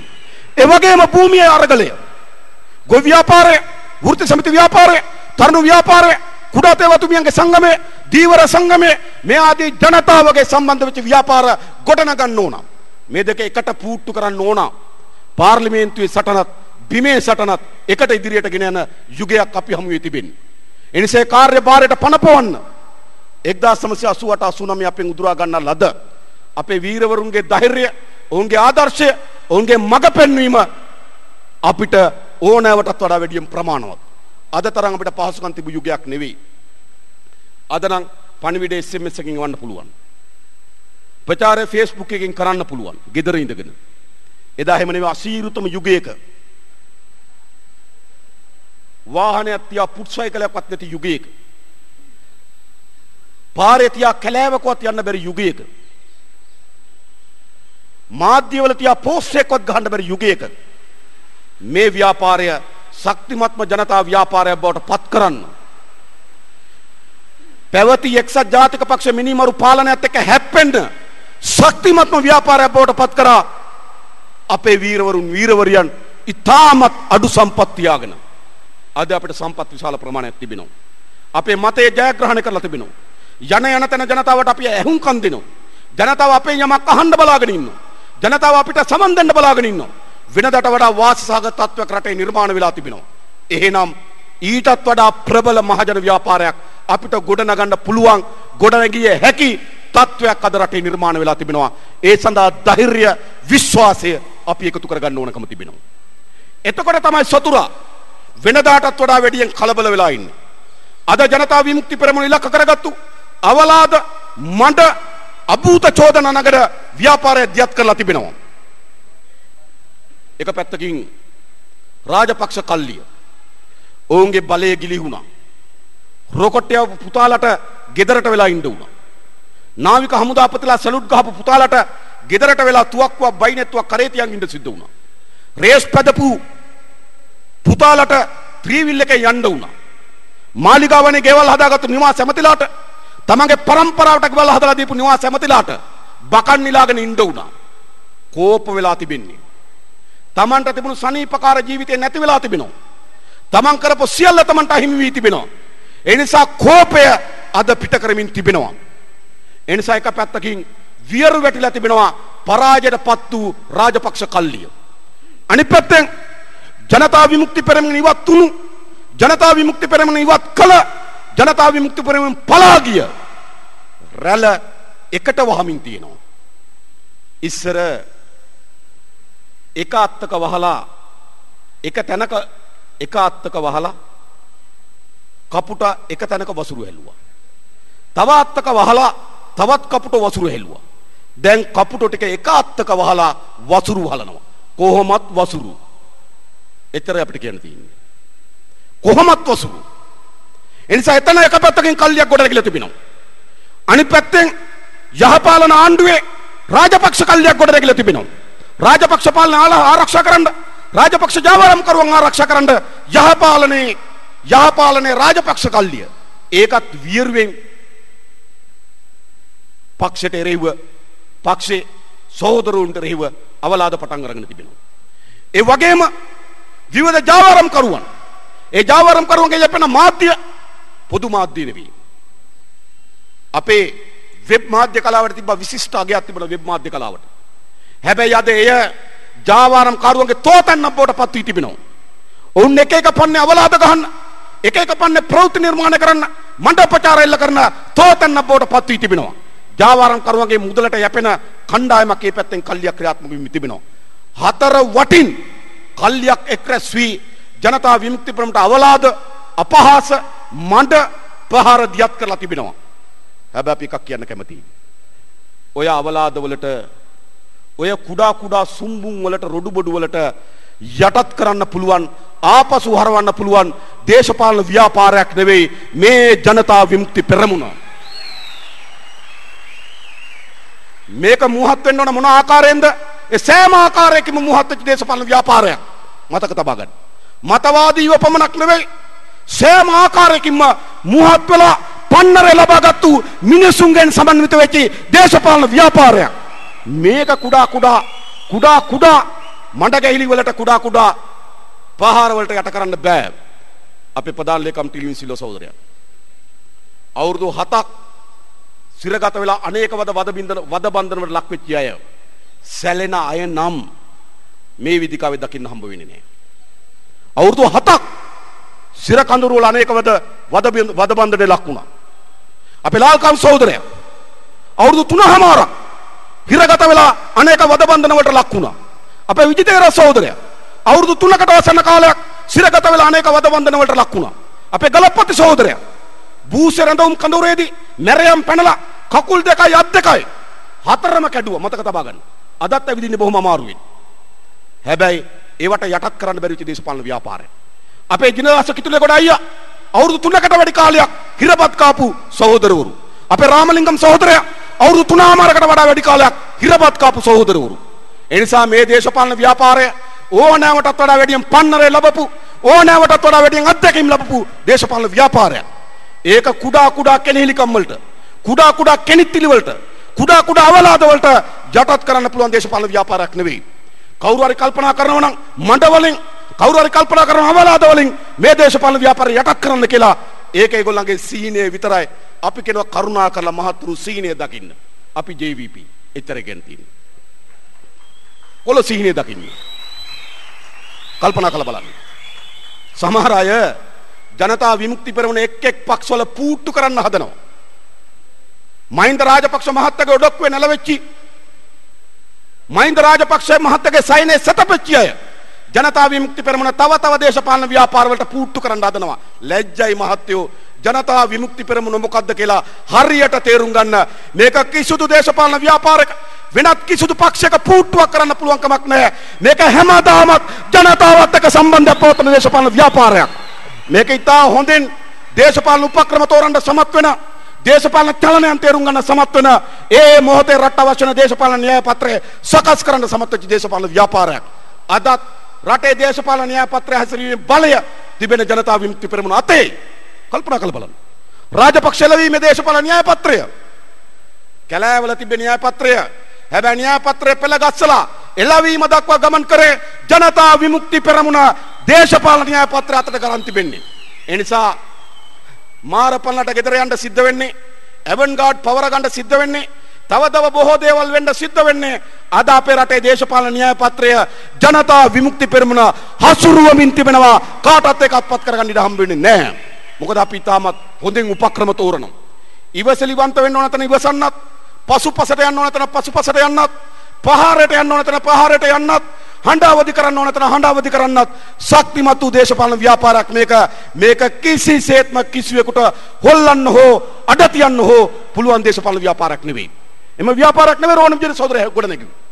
කවුරු හරි හිතනවා නම් විජේවීර සහෝදරයා ගොඩ නැගුවේ කුඩා කුඩා කුණාටු වලට ගහගෙන යන දේශපාලන ව්‍යාපාරයක් කියලා ඒක ඒගොල්ලෝගේ රෝණ සහෝදරයා පිළිබඳ තියෙන දැක්මේ අඩුවක්. රෝණ විජේවීර සහෝදරයා ගොඩ නැගුවේ තමන්ගේ ජීවිතයටත් වඩා ජනතාවට ආදරය කරන දේශපාලන ව්‍යාපාරයක්. තමන්ගේ ජීවිතයටත් වඩා මව්බිමට ආදරය කරන දේශපාලන ව්‍යාපාරයක්. තමන්ටත් වඩා මව්බිමේ නිදහසත් මා ජනතාවගේ අයිතිවාසිකම් වෙනුවෙන් සටන් වදින්න සූදානම් දේශපාලන ව්‍යාපාරයක් තමයි විජේවීර සහෝදරයා ගොඩනැගුවේ. බොහෝ මියගිය සහෝදරවරු සමහර ඉහළ නායක මට්ටමේ පිට සහෝදර අපි ඇස් දෙකෙන් දැකලා නැහැ. අපිට මුණ ගැහිලා කතා කරලා නැහැ. අපි සාකච්ඡා පුද්ගලිකව මාගත්තොත් සාකච්ඡාවකට සහභාගී වෙලා නැහැ. හැබැයි ඔවුන් පෝෂණය කරේ දැකලා හඬින් අහන එකක් නෙවෙයි. කටෙන් අහන වචනයක් නෙවෙයි. ඇස් දෙකෙන් පෙනෙන රූපයක් නෙවෙයි. ඔවුන් ගොඩ නැගුවේ විනාශ කරන්න බැරි අධ්‍යාත්මයක්. ඒ අධ්‍යාත්මය බලෙන් පෝෂණය වෙච්ච දේශපාලන ව්‍යාපාරයක් මේ මේ කිසිසේත්ම අඩතියන්න හෝ අකුලන්න හෝ කවර වර්ගයේ සතුරෙකුට ඉඩ නොතබන බව සහතික වශයෙන් මේ ඉල් මහ සමුරුවේදී අපි ප්‍රකාශ කරනවා සහතික වශයෙන් මේ ගමන ඉදිරියට යන්න ඕන. එනිසා අපි යමුවේ විශාල කාර්යභාරයක් තිබෙනවා. අපි යමුවේ විශාල අභියෝගයක් තිබෙනවා. වෙනදට වඩා සතුරා කුලප්පු වෙලා තිබෙන්නේ. කුලප්පු වීමෙන් පෙන්눔 කරමින් තිබෙන්නේ අපේ නිවැරදිභාවය. සතුරා අපි වර්ණනා කරනවා නම් සතුරා අපිව ඔසවා තබනවා නම් අපි බිය වෙන්න ඕන. සතුරා කලබල වී තීම ප්‍රමාණයෙන් තේරුම් ගන්න පුළුවන්කම තිබෙනවා අපේ නිවැරදිතාවය. එනිසා ඉල්මහ සමරුවේදී අපේ සදාදරණීය නායක රෝණ විජේවීර සහෝදරය ඇතුළු අපේ සහෝදර සහෝදරියන් කුරුරු එක්සත් ජාතික පක්ෂ එක්සත් ජාතික පක්ෂ ආණ්ඩුව විසින් ඝාතනය කරලා අවුරුදු 26 පිරෙන අද දින අපි මේ විහාර මහා දේවී පිටියේදී සපත කර කියා සිටිනවා. එළඹෙන ඕනෑම අභියෝගයට ශක්තිමත්ව මුහුණ දෙන්න ඔයන ඕනෑම අභියෝගයක් ජයග්‍රහීව පියමන් කරන්න ශක්තිමත් දේශපාලන ව්‍යාපාරයක් අපි ගොඩනගමු. ඒ වෙනුවෙන් අපි කවුරුත් එකතු වෙමු. ඒ වෙනුවෙන් සංවිධානය වෙමු. ඒ වෙනුවෙන් පෙරටමු කියලා ඉල්ලා සිටිමින් මම නියඩ වෙනවා. ජය වේවා. සියලු දෙනාට. බොහොම ස්තුතියි.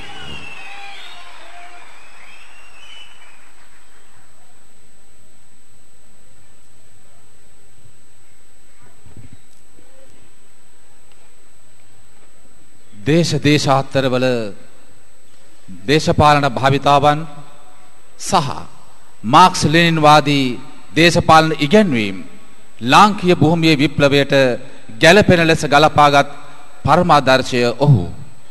අසහාය විප්ලවවාදියා ඔහු. 1989 13 වෙනි නොවැම්බර් 13 වෙනිදා ඒ අඳුරුබර රාත්‍රියේ ධනේශ්වර කුලී හේවායන් විසින් එදා ඔහු අපෙන් උදුරා ගත්තා. වද බන්ධනයට ලක්වට ලේල් ගංගාවේ ගිල්වා අමු අමුවේම ඔහුව වෙඩි තබා මරා දැමුවා. එහෙත් ඒ අසහාය විප්ලවවාදියාගේ ජීව ගුණය අපේ පක්ෂයේ ආදරණීය ගුරුවරයාගේ ඉගැන්වීම් ලාංකීය භූමිය අර්ථවත් කරමින් නව දේශපාලන හැරවුමක් ඔස්සේ නව සමාජ පරිවර්තනය කරාගෙන යන මේ ජයග්‍රාහී ගමන් මගෙහි විසිහයවෙනි ඉල් මහ විරු සමරුව සමරමින් ඒ පරමාදර්ශයේ උත්තුංග වීරත්වය උත්තුංග දහස් ගණන් සහෝදරවරුන්ගේ ප්‍රාර්ථනාවන් සාක්ෂාත් කරවන්නට ශපත කර සිටින විසිහය වන ඉල් මහ විරු සමරුවේ ඊළඟ සමුරු දේශනය පවත්වනු ලැබීම සඳහා මා දැඩි සහෝදරාත්මකව ආරාධනා කර සිටිනවා ජනතා විමුක්ති පෙරමුණේ ප්‍රධාන ලේකම් ආදරණීය ටිල්වින් සිල්වා සහෝදරයාට.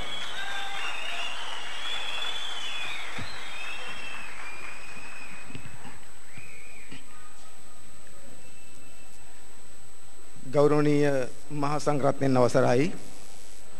මේ වේදිකාවේ ඉන්න අපේ පක්ෂයේ නායක ආදරණීය අනුර දිසානායක සහෝදරය ඇතුළු අපේ පක්ෂයේ දේශපාලන මණ්ඩලයේ සහෝදරුන්ගෙන්ද ඒ වගේම අපේ පක්ෂයේ මධ්‍යම කමිටුවේ සහෝදරිය ඇතුළු සහෝදරුන්ගෙන්ද අපේ පක්ෂයේ සමාජවාදී ශිෂ්‍යාංගමේ ජාතික සංවිධායක සහෝදරයගෙන්ද අවසරයි.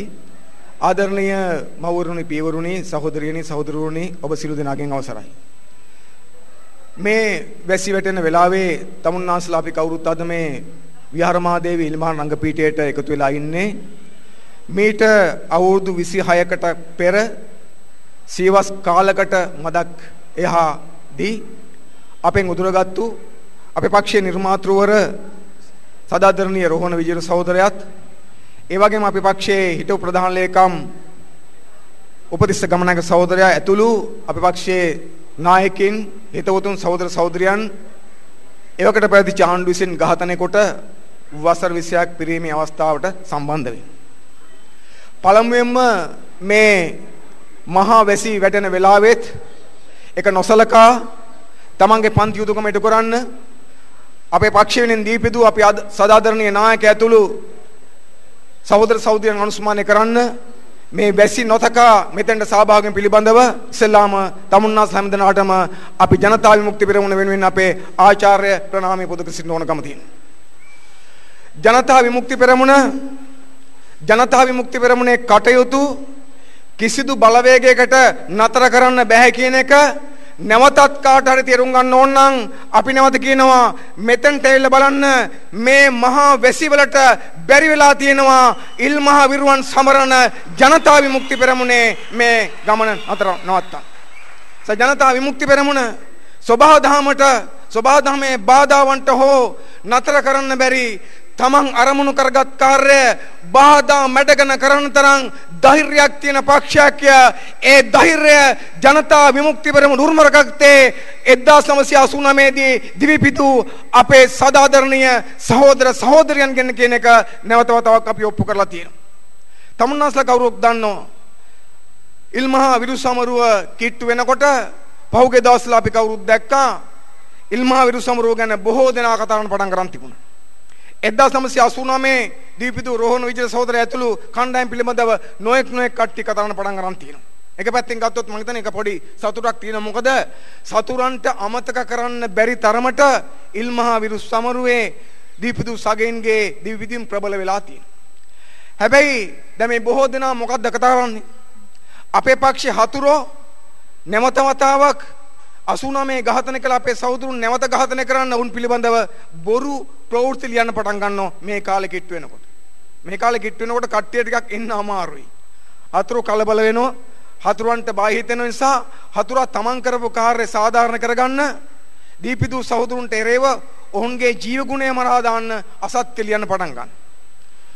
තව සමහරු ඉන්නවා අරගලෙන් පලා ගිය අය. බය නිසා වෙන වෙන හේතු නිසා පෞද්ගලික අරමුණු නිසා අරගලෙන් පලා ගිය අය ඉන්නවා. ඒගොල්ලන්ටත් මේ කාලෙ කිට් වෙනකොට බලන් ඉන්න පුළුවන් කමක් නැහැ නිසා ඒගොල්ලොත් තමන්ගේ පුද්ගල පෞරුෂයන් නගා ගන්න තමන්ට මේක ඇතුළේ වටිනකම් හදා ගන්න තමන් මූලික කරගත්තු නොඑක් නොඑක් දේවල් ලියන. හැබැයි ඒ ඔක්කොම ඇස්සේ අපි අද එකතු වෙලා තියෙනවා 1989 කාලේ 89 ඒ අඳුරු පැයේදී ඉල්මාසේ 13 වෙනිදා අපට අහිමි වෙච්ච මේ පක්ෂ නිර්මාණය කරලා මේ පක්ෂය ආරක්ෂා කරලා මේ පක්ෂය වෙනුවෙන් ජීවිත පරිත්‍යාග කරපු රෝහණ විජිත සහෝදර ඇතුළු අපේ ආදරණීය සහෝදර සහෝදරියන් අනුස්මානය කරලා ඔවුන්ගෙන් ආදර්ශයන් අරගෙන ඔවුන්ගේ බලාපොරොත්තු ජයග්‍රහණය කිරීමේ සටනට යමක් එකතු කරගන්න ඔබ අපි කවුරුත් එකතු වෙලා ඉන්න. ඒ ඇස්සේ දැන් ඉල්මහා සමරු කීපයකුත් හැදිලා තියෙනවා. ඉල්මහා විරුවන් හැම කෙනාම සමරන එක හොඳයි. නමුත් ඒක ඇතුලේ කිසියම් කනගාටු කාරණයක් තියෙන මොකද්ද? ඉල්මහේ විරුවන්ට රෝහණ විජය සෝදරගේ ගැන්වීම් වලට පස්ස හරවලා මේ ව්‍යාපාරෙන් පලා ගියපු මේ ව්‍යාපාරෙන් පළව හැරපු කට්ටියක් දැන් එකට එකතු වෙලා ඉල්මහා විරු සමරන්න පටන් ගන්න තියෙනවා. අමුතු තත්ත්වයක් තියෙනවා. කවදාහක්වත් එකට එකතු වෙයි කියලා හිතන්න බැරි වර්ගයේ කට්ටිය දැන් එකට එකතු වෙලා. අපි දැක්ක ඊපෙරත බදන් ඉන්න පින්තූර එහෙම. දැක්කන. දැක්කමත් අපිට පොඩි දුකක් හිතෙනවා අනේ අපිත් එක්ක කාලයක් අර හිටියනේ කියලා. මිනිස්සුන්ට තියෙන්න ඕන ආත්ම ගෞරවයක්. මිනිස්සුන්ට ප්‍රතිපත්ති තියෙන්න ඕන. රෝන් සහෝදරයා මරණයේත් ඔප්පු කරලා පෙන්නුවේ ප්‍රතිපත්තියක් තිබුණොත් ඒ ප්‍රතිපත්තිය මත වැඩ කරන්න ඕන ප්‍රතිපත්තිය රකින්න ජීවිතේ පුද කරන්න ඕන නම් ජීවිතේ පුදා හෝ ප්‍රතිපත්තිය රකින්න ඕන කියන එක තමයි රෝහන් සහෝදරයා ඔප්පු කරලා පෙන්නුවේ හැබැයි දැන් ප්‍රතිපත්තිය මොකක්වත් නැති කට්ටිය දැන් ඒ මොකක්වත් නැතුව දැන් එකිනෙකා බදා ගනිමින් ඉන්නවා සමහරුන්ගේ ඔබ දවුරු දන්නවා මහින්ද රාජපක්ෂට පණ දීම ප්‍රතිපත්තිය කරගත්තු හාදේ ඉන්නෝ අපි පක්ෂෙන් එලෝ දාපු. ඒගොල්ලන් එකම ප්‍රතිපත්තිය එකම අරමුණ එකම ප්‍රාර්ථනාව එකම හීනය මහින්ද රාජපක්ෂ නැවත ගේන එක රජ කරවන එක. ජනතාව විසින් එලව දව මහින්ද රාජපක්ෂ. ඉතින් ඒ මහින්ද රාජපක්ෂ පෞගේ ජනාධිපතිවරණලාදී පෙරදුනාට පස්සෙත් බලය දාලා ගියේ නැත කුමන්ත්‍රණයක් කරාය මේ කුමන්ත්‍රණකාරයව ගන්න ඕනේ අත්තරන් කියලා කෑ ගහපු සමහර මහත්තුරුත් දැන් අර රාජපක්ෂ රකින්න මිනිහා බදා ගන්නව ගිහිල්ලා ලැජ්ජ නැතු. අපිට ලැජ්ජයි බලන් ඉන්න. එහෙම දේශපාලනයක් අපිට තියෙනවා. ඇයි ඒ ප්‍රතිපත්ති නැති නිසා. ප්‍රතිපත්ති තියෙන්න ඕන කෙනෙකුට. පිදෙල් කස්ටෝ සහෝදරයත් කිව්වා එක වෙලාවක මොකද්ද? ඔබ ප්‍රතිපත්ති කරුක විය යුතුයි. ඔබට ඔබ සඳහා මෙන්ම ඔබේ සතුරන් සඳහා ප්‍රතිපත්ති විය යුතුයි. අපි හැම පක්ෂයක්. අපි අපි හතුරන්ට අවලාද නගන්න යන්නේ අපි අපි හතුරන්ට මඩ ගහන්න යන්නේ අපි අපේ තියුණු විවේචන ඉදිරිපත් කරන හතුරන්ට අපි සතුරන් පරද්දන්න වැඩ කරනවා. ඔවුන් අපේ සතුරන් නිසා නෙවෙයි ඔවුන් මේ රටේ සතුරන් නිසා. මේ රටේ ජනතාවගේ සතුරන් නිසා. ප්‍රතිපත්ති නැති මිනිස්සු ප්‍රතිපත්ති ඇත්තර මිනිස්සු ප්‍රතිපත්ති පාවා දීපු මිනිස්සු දැන් නොඑක් නොඑක් රංගන ඉදිරිපත් කරනවා. අර අපේ ජනවාරේ කතාවක් තියෙනවනේ මොකද්ද? මහා ගම් වතුරු ඇවිල්ලා හැමදේම ගහගෙන යනකොට නයි සහ මුගටි දෙගොල්ලෝ එක දණ්ඩේ පීනනවලු ජීවිතේ බේරගන්න. නයි මුගටි ඔයගොල්ලෝ කවුරුත් දන්නවා එකට ඉන්න බෑ කියලා. සාමාන්‍යයෙන් ජනවාරි දිනේමනේ. හැබැයි මහා ගම් වතුරට සියල්ල ගහගෙන යනකොට දිවි රැක ගැනීම සඳහා ණය ණයත් මුගටියත් එක දණ්ඩේ පීනනවා කියලා කතාවක් තියෙනවා. දැන් මේ වෙලා තියෙනෙත් ඒක තමයි. ජනතා විමුක්තිරුණෙන් එළවා දාපු ජනතා විමුක්තිරුණෙන් පලා ගියපු උදවිය මහා පම්පෝරි ගහලා පක්ෂ හදන්න ගිහිල්ලා රටවල් අල්ලන්න ගිහිල්ලා නොඑක් නොඑක් ಜಾති කරන්න ගිහිල්ලා දේශපාලනයෙන් අවතන් වෙලා අනාථ වෙලා යන එනමන් නැතුණාට පස්සේ දැන් පොඩි අනාථයින්ගේ පොඩි පොඩි මඩම් හදාගෙන අනාථින්ගේ එකතු හදන් තියෙනවා. ඒක විසින් නැවත ඔප්පු කරන මොකද්ද? ජනතා විමුක්ති පෙරමුණේ ගමන් මඟ නිවැරදි ජනතා විමුක්ති පෙරමුණේ ගමන් මඟ ජයග්‍රහණයෙන් කෙලවරීම කිසිවෙකුට වළක්වන්න පුළුවන් කමක් නැහැ. රෝහණ විජේර සහෝදරය ඇතුළු දීපිදු අපේ සගෙන් ප්‍රාර්ථනා කරන ලෝකය නිර්මාණය කළ හැක්කේ ජනතා විමුක්ති පෙරමුණට පමණයි කියන එක නැවත වතාවක් ඔප්පු කරලා තියෙනවා. ආදරණීය සහෝදරයන් සහෝදරවරුනි අපි මේ 26 වෙනි ඉල්මාවිට සමරුවේදී රෝහණ විජය සහෝදරය ඇතුළු අපේ සගෙන් දීපතලා වසර 26ක් පිරෙන වෙලාවෙත් මොකක්ද දකින්නේ? රෝහණ විජය සහෝදරයාගේ දැක්ම, ඔහුගේ දැනුම, ඔහුගේ දේශපාලනය නිවැරදිය කියන එක නැවත නැවත ඔප්පු කරමින් තියෙනවා. අපි පක්ෂ නායක අනුරදිසනායක සහෝදරයා මේ රටට වෙලා තියෙන නැස්පැත්තිය වින්නය ගැන කතා කරා. අපිට ආර්ථික වශයෙන් වැටලා තියෙන තැන මොකද්ද? සමාජීය වශයෙන් වැටලා තියෙන තැන මොකද්ද? අධිරාජ්‍යවාදී බලපෑමේ තත්ත්වය මොකද්ද කියලා කතා කරා. අපේ රටේ තර්කානුකූලව රෝහණ විජේන සහෝදරයා තමයි පළමුව කිව්වේ මේ බංකොලොත් ධනපති ක්‍රමයට ලංකාවේ ජනතාව වෙනුවෙන් කිසිවක් කරන්නත් බෑ ලංකාව අඟලක්වත් ඉස්සරහට ගෙනියන්නත් බෑ කියලා ඉතා පැහැදිලිව තර්කානුකූලව රටට කිව්වේ අපට ඉගන්වුවේ රෝහණ විජේන සහෝදරයා. ඒ ධනපති ක්‍රමය වසර 26ක් ගියාට පස්සෙත් බංකොලොත්කමේ තව පතුලට කිඳා බැලලා මිසක් ගොඩ එන්න බැරි වෙලා තියෙනවා. රෝන් සහෝදරයා නිවැරදි. මරා දාපුන් අද අසාර්ථක වෙලා තියෙනවා. රෝන් විජිත සහෝදරයා මලා මිය ගියාට පසුව මහා දෙවන්ත බලයක් ලෙස නැගී සිටලා තියෙනවා. අද ඔබ කවුරුත් දන්නවා අපේ රටේ හවුල් ආණ්ඩුවක් තියෙනවා.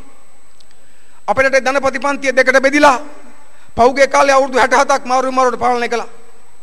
මාරුවෙන් මාරුවට පාලනය කර අසාර්ථකයි අසමත්. දැන් දෙගොල්ලෝ එකතු වෙලා පාලනය කරනවා. ප්‍රතිඵලය මොකද්ද? ඒත් අසමත් අසාර්ථකයි. දෙගොල්ලෝ එකතු වුණාට පස්සෙත් මේ මාස 3ක් යනකොට ඔප්පු කරලා තියෙනවා. ධනවාදය ඇතුලේ මෙරට දශමයක්වත් ඉස්සරහට ගෙනියන්න ජනතාවගේ කිසිම ප්‍රශ්නයකට උත්තර හොයන්න ධනවාදයටත් ධනවාදය පවත්වාගෙන යන මේ හවුල් ආණ්ඩුවට හයිබ්‍රිඩ් ආණ්ඩුවටත් බෑ කියලා ඔප්පු කරලා තියෙනවා. එහෙනම් මොකද්ද උත්තරේ? රෝහණ විජය සහෝදරයා කියපු දේ තමයි අපිට තියෙන විසඳුම. රෝහණ සහෝදරයා තමයි තා ප්‍රබල හඬකින් කිව්වේ ධනවාදී අර්බුදයට විසඳුම් ගොඩක් නැහැ. එකයි තියෙන්නේ. ඒක තමයි නව සමාජයක් සමාජවාදී සමාජයක් නිර්මාණය කිරීම හැර වෙන උත්තරයක් නැහැ කියලා කිව්වේ රෝහණ සහෝදරයා. ඒ සමාජවාදී සමාජයක් ගොඩනගන දේශපාලනේ ගමන් කරලා ඒ වෙනුවෙන් පක්ෂයක් හදලා ඒ වෙනුවෙන් ජනතාව දැනුවත් කරලා ඒ වෙනුවෙන් මහා බලවේගයක් හදලා ඒ බලවේගයේ සතුරා විනාශ කරනකොට ආරක්ෂා කරලා අවසාන මොහොතේ තමන්ගේ දිවි කුසුම් පුදා පූජා කරලා මේ පක්ෂය මේ ව්‍යාපාරය නිර්මාණය කරලා අප අතරපත් කරලා තියෙනවා සමාජවාදී ගොඩනගන. අපි කාටවත් කියනවා ජනතා විමුක්ති පෙරමුණ දිහා මතු පිටින් බලලා අපි ගැන නොඑක් නොඑක් කතා ගැන හැම මහතුරුන්ම කියනවා ජනතා විමුක්ති පෙරමුණට අරමුණක් තියෙනවා. ඒ අරමුණ වෙන කිසිවක් නෙවෙයි. අපේ පක්ෂයේ නිර්මාතෘවරය ඇතුළු අපේ සහෝදරයන් දිවිදුන් ඔවුන්ගේ හදවතේ තිබිච්ච අරමුණ තමයි අපේ හදවතේ තියෙන්නේ. අපට අරමුණු දෙකක් නැහැ. අපේ අරමුණ මොකක් හරි ආණ්ඩුවකට එකතු වෙලා ඒකෙන් මොනවාරි වාසි ගන්න එක නෙවෙයි. අපේ අරමුණ මොකක් හරි පෙරමුණකට කොට ගහලා മന്ത്രിකමක් දෙකක් ගන්න එක නෙවෙයි. අපේ අරමුණ තනතුරක් දෙකක් ගන්න එක නෙවෙයි. ජනතා විමුක්ති පෙරමුණ මේ හැමදේම කරන්නේ එකම එක අරමුණක් සඳහා. ඒක තමයි මේ රටේ පවතින ධනපති සමාජ ක්‍රමය වෙනස් කරලා ඒ වෙනුවට වඩා යහපත් සමාජවාදී නවීන සමාජවාදී සමාජ ක්‍රමයක් නිර්මාණය කිරීම සඳහා තමයි අපි දේශපාලන ක්‍රමයෙන් යන්නේ. ඒ හැර වෙන අරමුණක් අපට නැහැ. අපි කරන සිළු දේශපාලන කටයුතු ගන්න අපි ඒ අරමුණ වෙන්නේ. අපි කවුරුත් දන්නෝ බෙදනවාදී ආර්ථික අර්බුදයක් තියෙනවා. රෝහණ විජය සෝදර තමයි කිව්වේ මේ පෞද්ගලික දේපල තියෙන නිෂ්පාදනයක් නැති ණයට කාලා ජීවත් වෙන රටකට ආර්ථිකයක් හදන්න බෑ කියලා. ඒ වෙනකොට එනම් මොකක්ද ඕනකම තියෙන්නේ?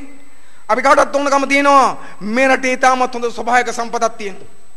මේ ස්වභාවික සම්පතේ වටිනාකම් පිළිබඳව අපේ රටේ ජනතාවට ඊටාම හොඳින් කියා දුන්නේ රෝහණ විජේට සහෝදරයා.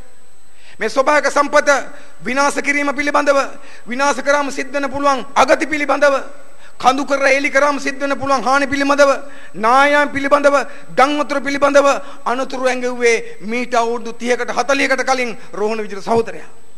මේ ස්වභාවික සම්පත හරියට කළමනාකරණය කරොතින් එහෙම ලෝකයේ තියෙන දියුණුතම රට බවට පත් වෙන්න ලංකාවට පුළුවන් කියලා අපට ඉගැන්වුවේ රෝහණ සහෝදරයා. අපේ රටේ තියෙන්නේ හොඳ ස්වභාවික සම්පතක් විතරක් නෙවෙයි. අපේ රටේ ඉතාමත් හොඳ මානව සම්පතක් තියෙනවා. ඉතාම දක්ෂ, ඉතාම නිර්මාණශීලී, ඉතාම බුද්ධිමත් මානව සම්පතක් තියෙන රටක් මේක. ඒ මානව සම්පතයි මේ ස්වභාවික සම්පතයි එකට එකතු කරලා දෙවන්ත නිෂ්පාදනයක් රාජ්‍යංශයත් පෞද්ගලික අංශයත් තනිතර නිෂ්පාදකයත් මැදිහත් වෙන දෙවන්ත නිෂ්පාදනයක් කරන සමාජයක් හදන්න ඕන අය එවැනි සමාජයකින් තමයි ඇති නැති පරතර අවම කරලා හැම කෙනාටම තමන් බලාපොරොත්තු දේ ලබා ගන්න පුළුවන් සමාජයක් හදන්නේ කියලා රෝන් සොදර කිව්වා. ඒ අදහස් ඒ දැනීම ඒවා එක්ක තමයි අපි ඉස්සරහට ගමන් කරමින් ඉන්නේ. අපි නිර්මාණය කරන්න ඕනකම තියෙනවා එවැනි සමාජයක්. දුප්පත් පොහොසත් ભેදයක් නැති සමාජයක් අපි හදන්න ඕන. සමාජවාදී සමාජයක් අපි හදන්න ඕන. ඒ සමාජවාදී සමාජය කියලා කියන්නේ තියෙන මිනිහගෙන් අරගෙන නැති මිනිහට දෙන එක නෙවෙයි. සමාජයේ සමාන වෙන්න ඕන. ඒ සමානකම හදන්න වෙන්නේ අපිට තියෙන කෙනාගෙන් අරගෙන නැති කෙනාට දීලා නෙවෙයි. හැමෝටම ප්‍රමාණවත් තරමින් ලැබෙන දෙවන්ත නිෂ්පාදනයක් කරලා අන්නේ සඳහා අවශ්‍ය කරන සම්පත් අපි සතුව තියෙනවා ඒක හඳුනාගෙන ඒ වෙනුවෙන් වැඩ කරන්න කියලා අපට ඉගන්වුවේ රෝහන් සහෝදරය ඇතුළු අපේ මියගිය සහෝදරවරුන්. ඒ දැනුම් එක තමයි අපි ගමන් කරමින් ඉන්නේ. ඒ විතරක් නෙවෙයි ඔයගොල්ලෝ කවුරුත් දන්නෝ මිනිස්සුන්ට මිනිස්සුන්ට සලකන සමාජයක් ඕන. අද මොකදලා තින්නේ? ධනවාදය තුල මිනිස්සුන්ට මිනිස්සු වගේ සලකන්නේ නැහැ. අද මිනිස් පැනරල් තියෙන්නේ. අර විතක මීට අවුරුදු 150කට වගේ කලින් මාක්ස්වාදී නිර්මාතෘවරයෙක් වෙච්ච එංගල්ස් කියලා තිබුණා මානව වර්ගයා එක්කෝ සමාජවාදය කරා පෙරට නැත්තම් ම්ලේච්ඡත්වය කරා ආපස්සට යා යුතු තීර්ණාත්මක අවධියකට එළඹිලා තියෙනවා කියලා. දැන් අපි දකිමින් ඉන්නේ මොකද්ද? මානව වර්ගයා සමාජවාදයට නොගින් ඉන්න තාක්කල් ම්ලේච්ඡත්වයට ගමන් කරමින් ඉන්නවා. ම්ලේච්ඡත්වයේ සලකුණු ඔබ අපි දකිනවා. ඒ ම්ලේච්ඡත්වයේ සලකුණු තමයි දරුවන්ට ආදරය කරන්න ඕන, දරුවෝ රැක බලා ගන්න ඕන සමාජයක දරුවන් දූෂණය කොට මරා දාන්නේ. පාලකයෝ කයිවාරු ගහනවා හොඳම දේ දරුවන්ට දරුවන්ට සලකනවා දරුවන්ට ආදරය කරනවා කියලා හැබැයි සමාජෙ මොකද සිද්ධ වෙන්නේ? දරුවෝ පැහැරගෙන ගිහිල්ලා මරා දානවා. ඒක උතුරු විද්‍යාව වෙන්න පුළුවන්. මේ අනිකුත් දරුවෙක් වෙන්න පුළුවන්. දරුවෝ පැහැරගෙන මරා දානවා. දරුවෝ දූෂණය කරනවා. දරුවෝ මහමග දාලා යනවා. ඉපදිච්ච දරුවා මරා දානවා.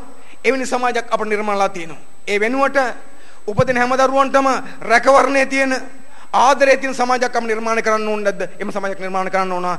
එම සමාජයක් නිර්මාණය කරන්න ධනවාදයට බෑ. එම සමාජයක් නිර්මාණය කළ හැක්කේ දරුවන්ට රැකවරණයද ආදරයද සහිත සමාජයක් නිර්මාණය කරන්න පුළුවන් සමාජවාදයට පමණයි කියලා රෝහණ සහෝදරය ඇතුළු පිරිස අපට උගන්වලා තියෙනවා. ඒ වගේම දරුවන්ට අධ්‍යාපනය අධ්‍යාපනය දෙන්න බැරුව තියෙන්නේ. පෞද්ගලික දශකත් අර අධ්‍යාපන සමාන අවස්ථා නැතුව තියෙනවා. සා දරුවන්ට පාසලක් ඉල්ල ගන්න අම්මලාට සිද්ධලා තියෙනවා මහා පාරේ වාඩි වෙන්න. බෙදක පත්‍රයේ මිතුරක් තියෙනවා. අම්මා කෙනෙක් කහිර මැද්ද වාඩිලා ඉන්න දරුවක් තියාගෙන මගේ දරුවාට පාසලක් දෙන්න කියලා. රටක්ද මේක? දරුවත් අරගෙන අම්මලා එක්කෝ මහා පාරේ වාඩි වෙන්න ඕන පාසලක් ඉල්ල ගන්න. නැත්තම් අම්මා කෙනෙක් විදුහල්පතිත් එක්කෙන් හෝටල් කාමරයකට යන්න ඕන දරුවට පාසලක් ගන්න. මෙන්න රටේ තත්ත්වය. උසස් අධ්‍යාපන ලබන ළමයින්ට මහපාර බැල උළුපලා ගන්න ඕන තමන්ගේ අධ්‍යාපනය තිබේර ගන්න. සා උළුපලා ගන්න දරුවන්ට උළුපලා ගන්න සිද්ධ වෙන. අම්මලාට මහපාර පිකට් කරන්න සිද්ධ වෙන. උපවාස ගන්න සිද්ධ වෙන. එහෙම නැත්නම් විදුහල්පතිලත් එක්කෙන් කාමර ගන්න යන සිද්ධ වෙන රටක් හදලා තියෙනවා ධනවාදී. ඒ වෙනුවට අපිට ඕනේ නැද්ද උපදින හැම දරුවටම අධ්‍යාපනය සහතික කරන උසස් අධ්‍යාපන දක්වා සහතික කරන සමාජයක් අපිට ඕන. එහෙම සමාජයක් හදනවා නම් ඒ සමාජය වෙන කිසිවක් නෙවෙයි රෝහණ සහෝදරය ඇතුළු අපේ සහෝදරින් ප්‍රාර්ථනා කරපු සමාජවාදයට විතරයි එහෙම සමාජයක් හදන්න පුළුවන් කියලා අපි කවුරුත් දන්නවා. ඊළඟට ඉගෙන ගත්තට පස්සේ තරුණයාට රැකියාවක් තියෙන්න ඕන. දැන් කෝ රැකියා තරුණු රැකියා නැතුව ඉන්නවා. දැන් මේ අපි කතා කරන මේ මොහොත වෙනකොටත් බලන්න මේ මහ වැස්සෙත් අන්න කුරුණෑගල බස් නැවතුම්පල ගාව අට්ටාලයක් ගහගෙන වයම් පළාතේ උපාධාරීන් උද්ඝෝෂණයක් කරනවා. මේ පොකු දැස්සක අපිත් ගියා. ඒ දේශනාවක් තිබ්බ කුරුණෑගල අපේ ජිනීවා පිළිබඳව. ඒ දේශනාව කළා මමත් ගියා. ඒ සහෝදර මුණ ගැහෙන්න. ඔවුන්ගේ දුක් ගැන විලාහන්න. ඕල් මොකද්ද කියන්නේ? වයඹ පළාත තුල රාජ්‍යංශයේ පුරප්පාඩු විශාල ප්‍රමාණයක් තියෙනවා. හැබැයි ඒව පුරවන්නේ ආණ්ඩුව. ඒ නිසා පුරප්පාඩු තියෙනවා පැත්තක. ජනතාවගේ සේවය සිද්ධ වෙන්නේ අනිත් පැත්තෙන් උපාධිධාරයා අට්ටාල ගහගෙන උපවාස කරනවා. රටක්ද මේක. ඒ දැනුම රටේ ආර්ථිකයට උරා ගන්න නැත්නම් රටක් නෙවෙයි ඒක ආර්ථිකයක් නෙවෙයි. අපිට ඕනේ තරුණ ජනයාගේ දැනුම හැකියාව ජවය ආර්ථිකයට උරා ගන්න පුළුවන් රටක් හදන්න ඕන. එහෙම රටක් හදනවා නම් ඒක හදන්න පුළුවන් රෝහණ විජය සහෝදරයා අපට උගන්වපු සමාජවාදී සමාජය යටතේ විතරයි කියලා අපි දැන් දැඩි විශ්වාස කරනවා. ඒ හැර අන්මගක් නැහැ. වැඩිහිටියන්ට වැඩිහිටියන් සලකන සමාජයක් දැන් තියෙනවද? වැඩිහිටියන් සලකන සමාජයක් නැහැ. වැඩිහිටි දින තියෙනවා. හැබැයි සලකන සමාජයක් නැහැ. ඒ නිසා තමයි අර පොකුදස්සක අපි දැක්කේ පත්තරේ තාත්තව බලු කුඩුවේ දා බුදුවෙක් පිළිබඳ. දැන් කවුරුත් එකතු වෙලා ඒ දුවට කෑ ගන්න පටන් ගන්න තාත්තා දෙම බලු කුඩුවේ කියලා. හැබැයි තාත්තා කෙනෙක්ව බලු කුඩුවේ දාන්න බල කරපු මේ සමාජය ගැන මොකද්ද කියන්නේ?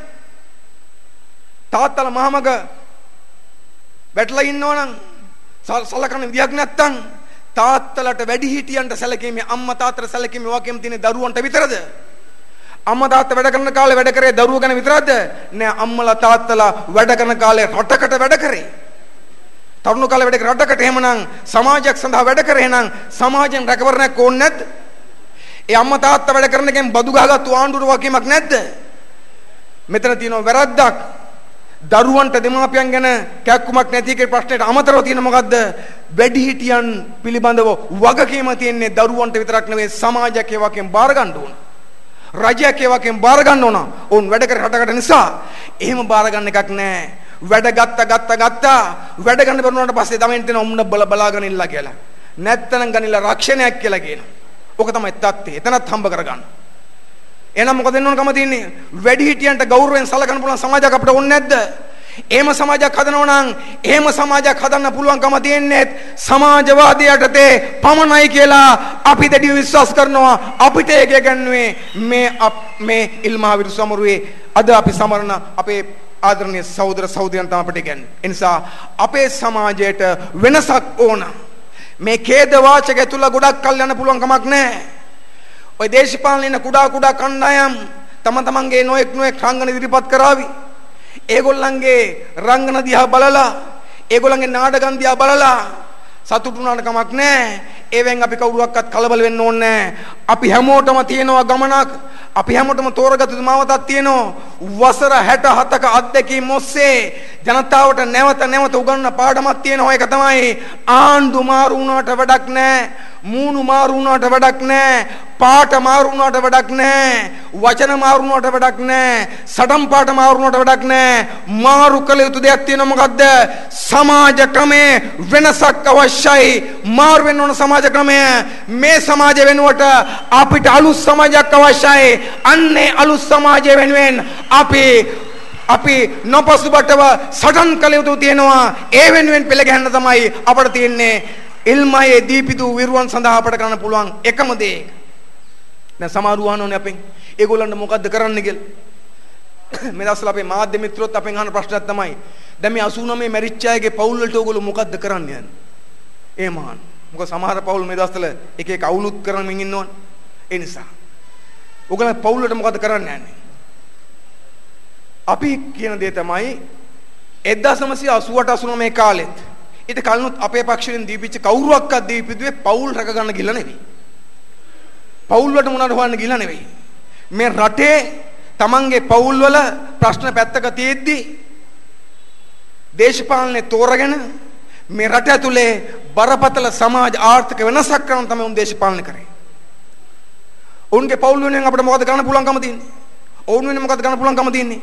ඔවුන් වෙනුවෙන් ඔවුන්ගේ පවුල් වෙනුවෙන් අපිට කරන්න පුළුවන් එකම දේ තමයි ඔවුන් තමන්ගේ මරණයේදී බලාපොරොත්තු වෙච්ච ප්‍රාර්ථනාව කල් යන්න නොදී අපේ දැස් ඉදිරිපිට අපේ දෑත් වලින් ගොඩනංවන එක ඒ වෙනුවෙන් තමයි අපි කැප වෙන්නේ ඔවුන් වෙනුවෙන් අපට කළ හැකි ප්‍රධානම මූලිකම කාර්ය ඒක ඊට අමතරව අපි එක සම්බන්ධයත් එක්ක අපි සම්බන්ධ තියෙන එක රැක බලා ගන්න එක අපිට වාක්‍යමක් තියෙනවා. අපි වාක්‍යෙ මිටු කරමින් ඉන්නවා. නමුත් ඒකෙන් ප්‍රශ්න විසඳෙන්නේ නැහැ. ඒ කවුරුවක්වත් බලාපොරොත්තුනේ පක්ෂයෙන් තමන්ගේ දරු පොල් බලා ගන්න වෙයි මේ රටක දරුවන් ඉන්නවා. ඒ වෙනුවෙන් සමාජයක් හදන්න.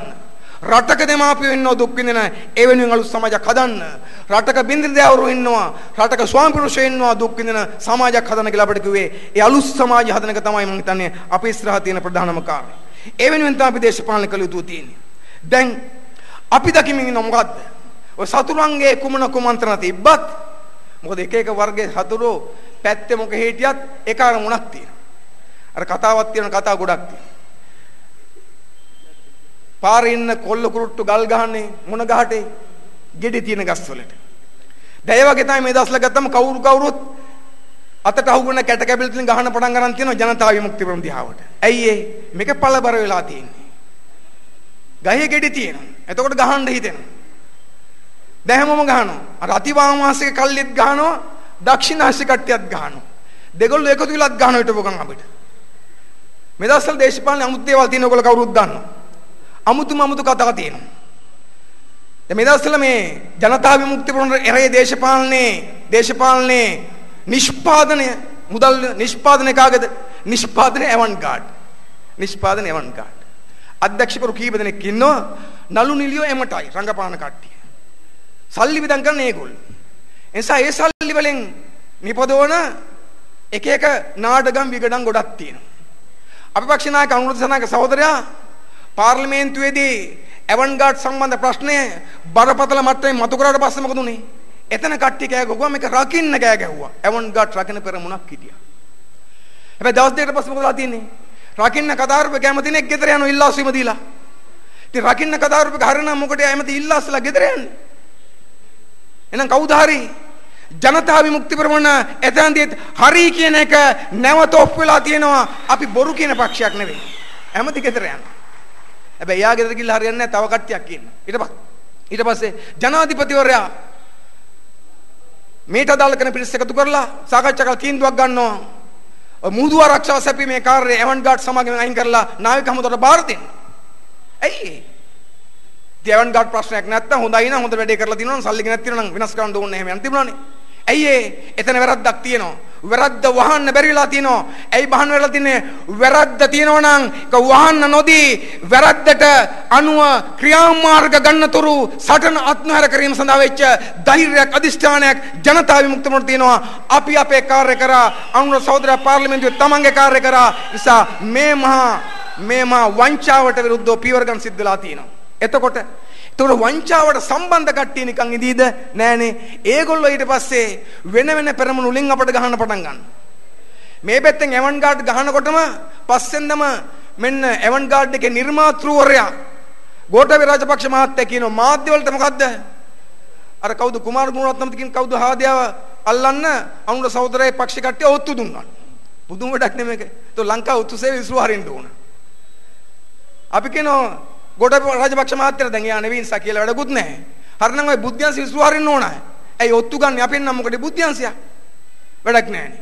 එයත් ඉල්ලාස් වෙන්න ඕන. මේ මොකද්ද මේ කියන්නේ? ඇවන්ගාඩ් එකට ගැහුවම රෙදුනේ එතෙන්ට. එතකොට ඒගොල්ලෝ මොකද කරන්නේ? ඒගොල්ලෝ පෙරලා ප්‍රහාරයක් කළ කරනවා අපිට අර පට්ටපල් බොරුවක් කියලා. අපිට මොකටද එක එක මහත්තුරු ගැන ඔත්තු දෙන්නේ? අපිට මොකටද? අපිට බලපෑමක් තියනවද? අපිට මොකක් හරි බාධාවක් තියනවද?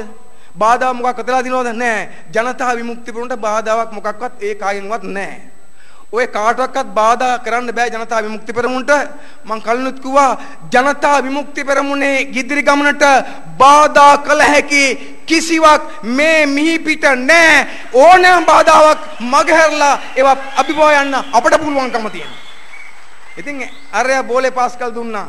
ඊට පස්සේ ඊට පස්සේ අන්න දැන් අර කට්ටිය ওই පෙරටුගාමි කට්ටිය මේක අරගෙන දැන් කෑ ගන්න පටන් ගන්නවා මෙන්න බලන්නකෝ හරි අපරාධේ පාවා දුන්නා පාවා දුන්නා පාවා දුන්නා කියලා.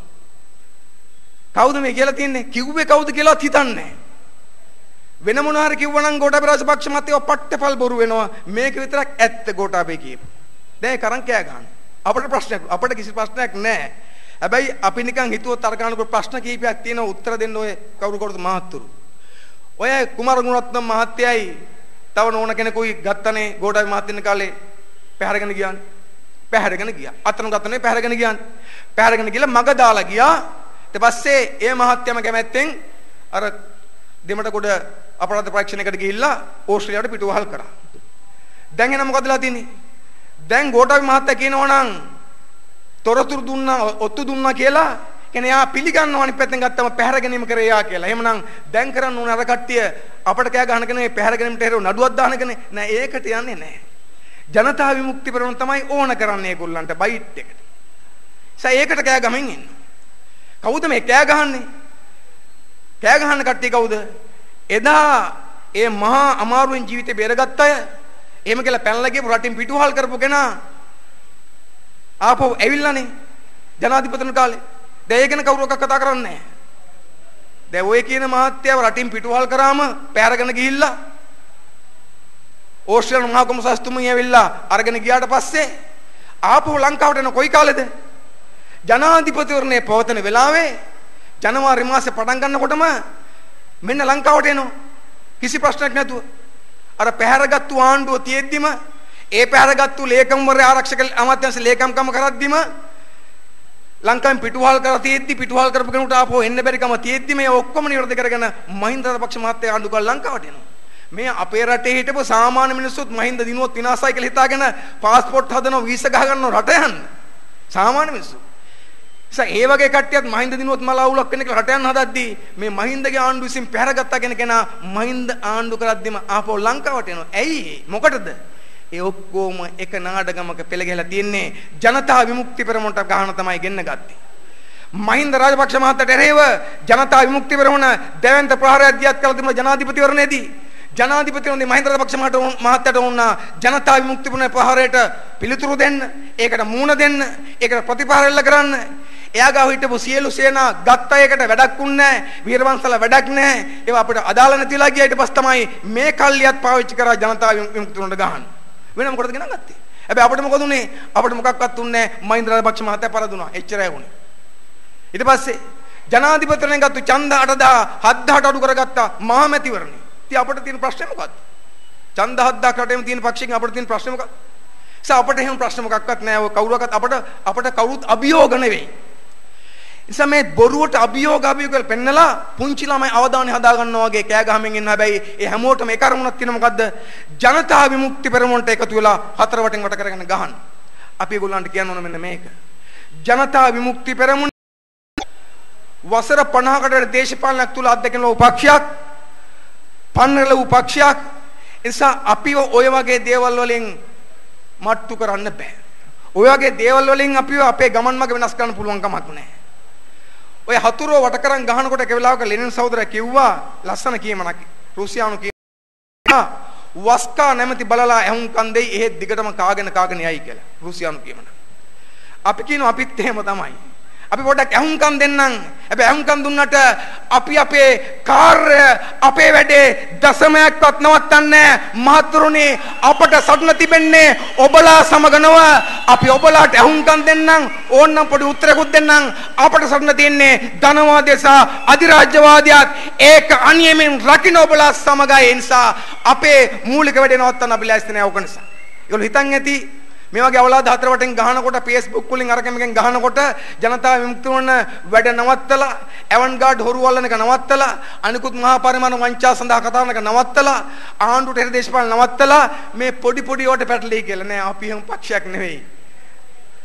ඒවා එහෙම හිතන්න එපා. කනගාටු එහෙම හිතනවා නම් අපි හැම පක්ෂයක් නෙවෙයි. ඔබේ කාර්යය ඔබ කරගෙන යන්න. අපේ කාර්යය අපි කරගෙන යනවා. අපට තියෙනවා සමාජයක් වෙනස් කිරීමේ කාර්යභාරයක්. ඒක වෙනුවෙන් ඕනෑම කැපකිරීමක් කරලා වැඩ කරන තරම් ධෛර්ය ශක්තිය අපට තියෙනවා. එසා අපි ඒ කාර්ය කරමින් යන්න. සහතුරු කලබල වුණාට අපි කවුරුත් ගණන් ගන්න ඕනේ නැහැ කියලා අපි හිතනවා. අවතැන් වෙච්ච උදවිය දේශපාලන පෙරමුණු හදන්න පුළුවන් ඒ පෙරමුණු පිළිබඳව අපි කලබල යුතු නැහැ කියලා අපි විශ්වාස කරනවා ඉල් සමරුවේ මේ වෙලාවේ අපි කියනවා අපට වගකීමක් තියෙනවා. මොකද්ද? ඒක තමයි මං කලිනුත් කිව්වා අපට තියෙන වගකීම අපේ පක්ෂ නිර්මාතෘ රෝහණ විජිත සහෝදරය ඇතුළු ඉල්මහේ දිවතුන් 80ට 89 කාලේ දිව දුන් හැම සහෝදරයෙක්ම දිවි දුන්නේ එක අරමුණක් සඳහා. එදා ඉන්දියානු හමුදාව ලංකාවට ඇවිල්ලා ලංකාව අත්පත් කරගන්න යට කරන් ඉන්න හදන වෙලාවක මාතෘ භූමි නිදහස ඉස්සරහට ඇවිත් තිබුණා. ජනතාවගේ විමුක්තිය ඉස්සරහට ඇවිල්ලා තිබුණා. ඒ වගේම අධිරාජ්‍යවාදී නිදහස ඇවිල්ලා තිබුණා. ඒ වගේම තමයි අලුත් සමාජයක් හදන්න ඕනකම තිබ්බා. සමව්බිම රකින්න සමාජවාදයේ ගේන්න තමයි උන් සටන් කළේ. ඉතින් අපි කියනවා අදත් අපි ඉස්සරහයි අභියෝගේ තියෙනවා. අද ඉන්දියානු හමුදාව මෙහෙට ආවේ නැතුණාට එක්සත් ජනපදය ලංකාවට ඇඟිලි ගහන්න පටන් ගන්න තිනවා මානව හිමිකම් කොමිසම හරහා යෝජනා හරහා මේ ආණ්ඩුවත් ඒක එකඟ වෙලා බාරගෙන තියෙනවා. සාපීතා පැහැදිලිව කියලා තියෙනවා මානව හිමිකම් සම්බන්ධ පරීක්ෂණ මෙහෙ කරමු. නිවැරදිව කරමු. එසඳා යුක්තිය නීති ඉටු කරමු හැබැයි ඒ වෙනුවෙන් අධිරාජ්‍යවාදී බලවේගයන්ට ලංකාවේ අභ්‍යන්තර ප්‍රශ්න වලට ඇඟිලි ගහන්න දෙන්න එපා. ඒක වැරදි. අධිරාජ්‍යවාදීන් අධිරාජ්‍යවාදී සංවිධාන වලට ලංකාවේ අභ්‍යන්තර ප්‍රශ්න වලට ඇඟිලි ගහන්න දුන්නොතින් අපේ රටේ මොකක්වත් ඉතුරු වෙන්නේ නැහැ. ඒක අපි තා හොඳින් දන්නවා. ජනතා විමුක්ති පෙරමුණ තියෙන්නේ එක්සත් ජනපදෙත් එක තරහක් නෙවෙයි එක්සත් ජනපදයේ පිළිබඳව අත්දැකීම් තියෙනවා අපිට ලෝකේ පුරාම ආපු අපේ පක්ෂ නායක අනුර සහෝදර පැහැදිලි කළා.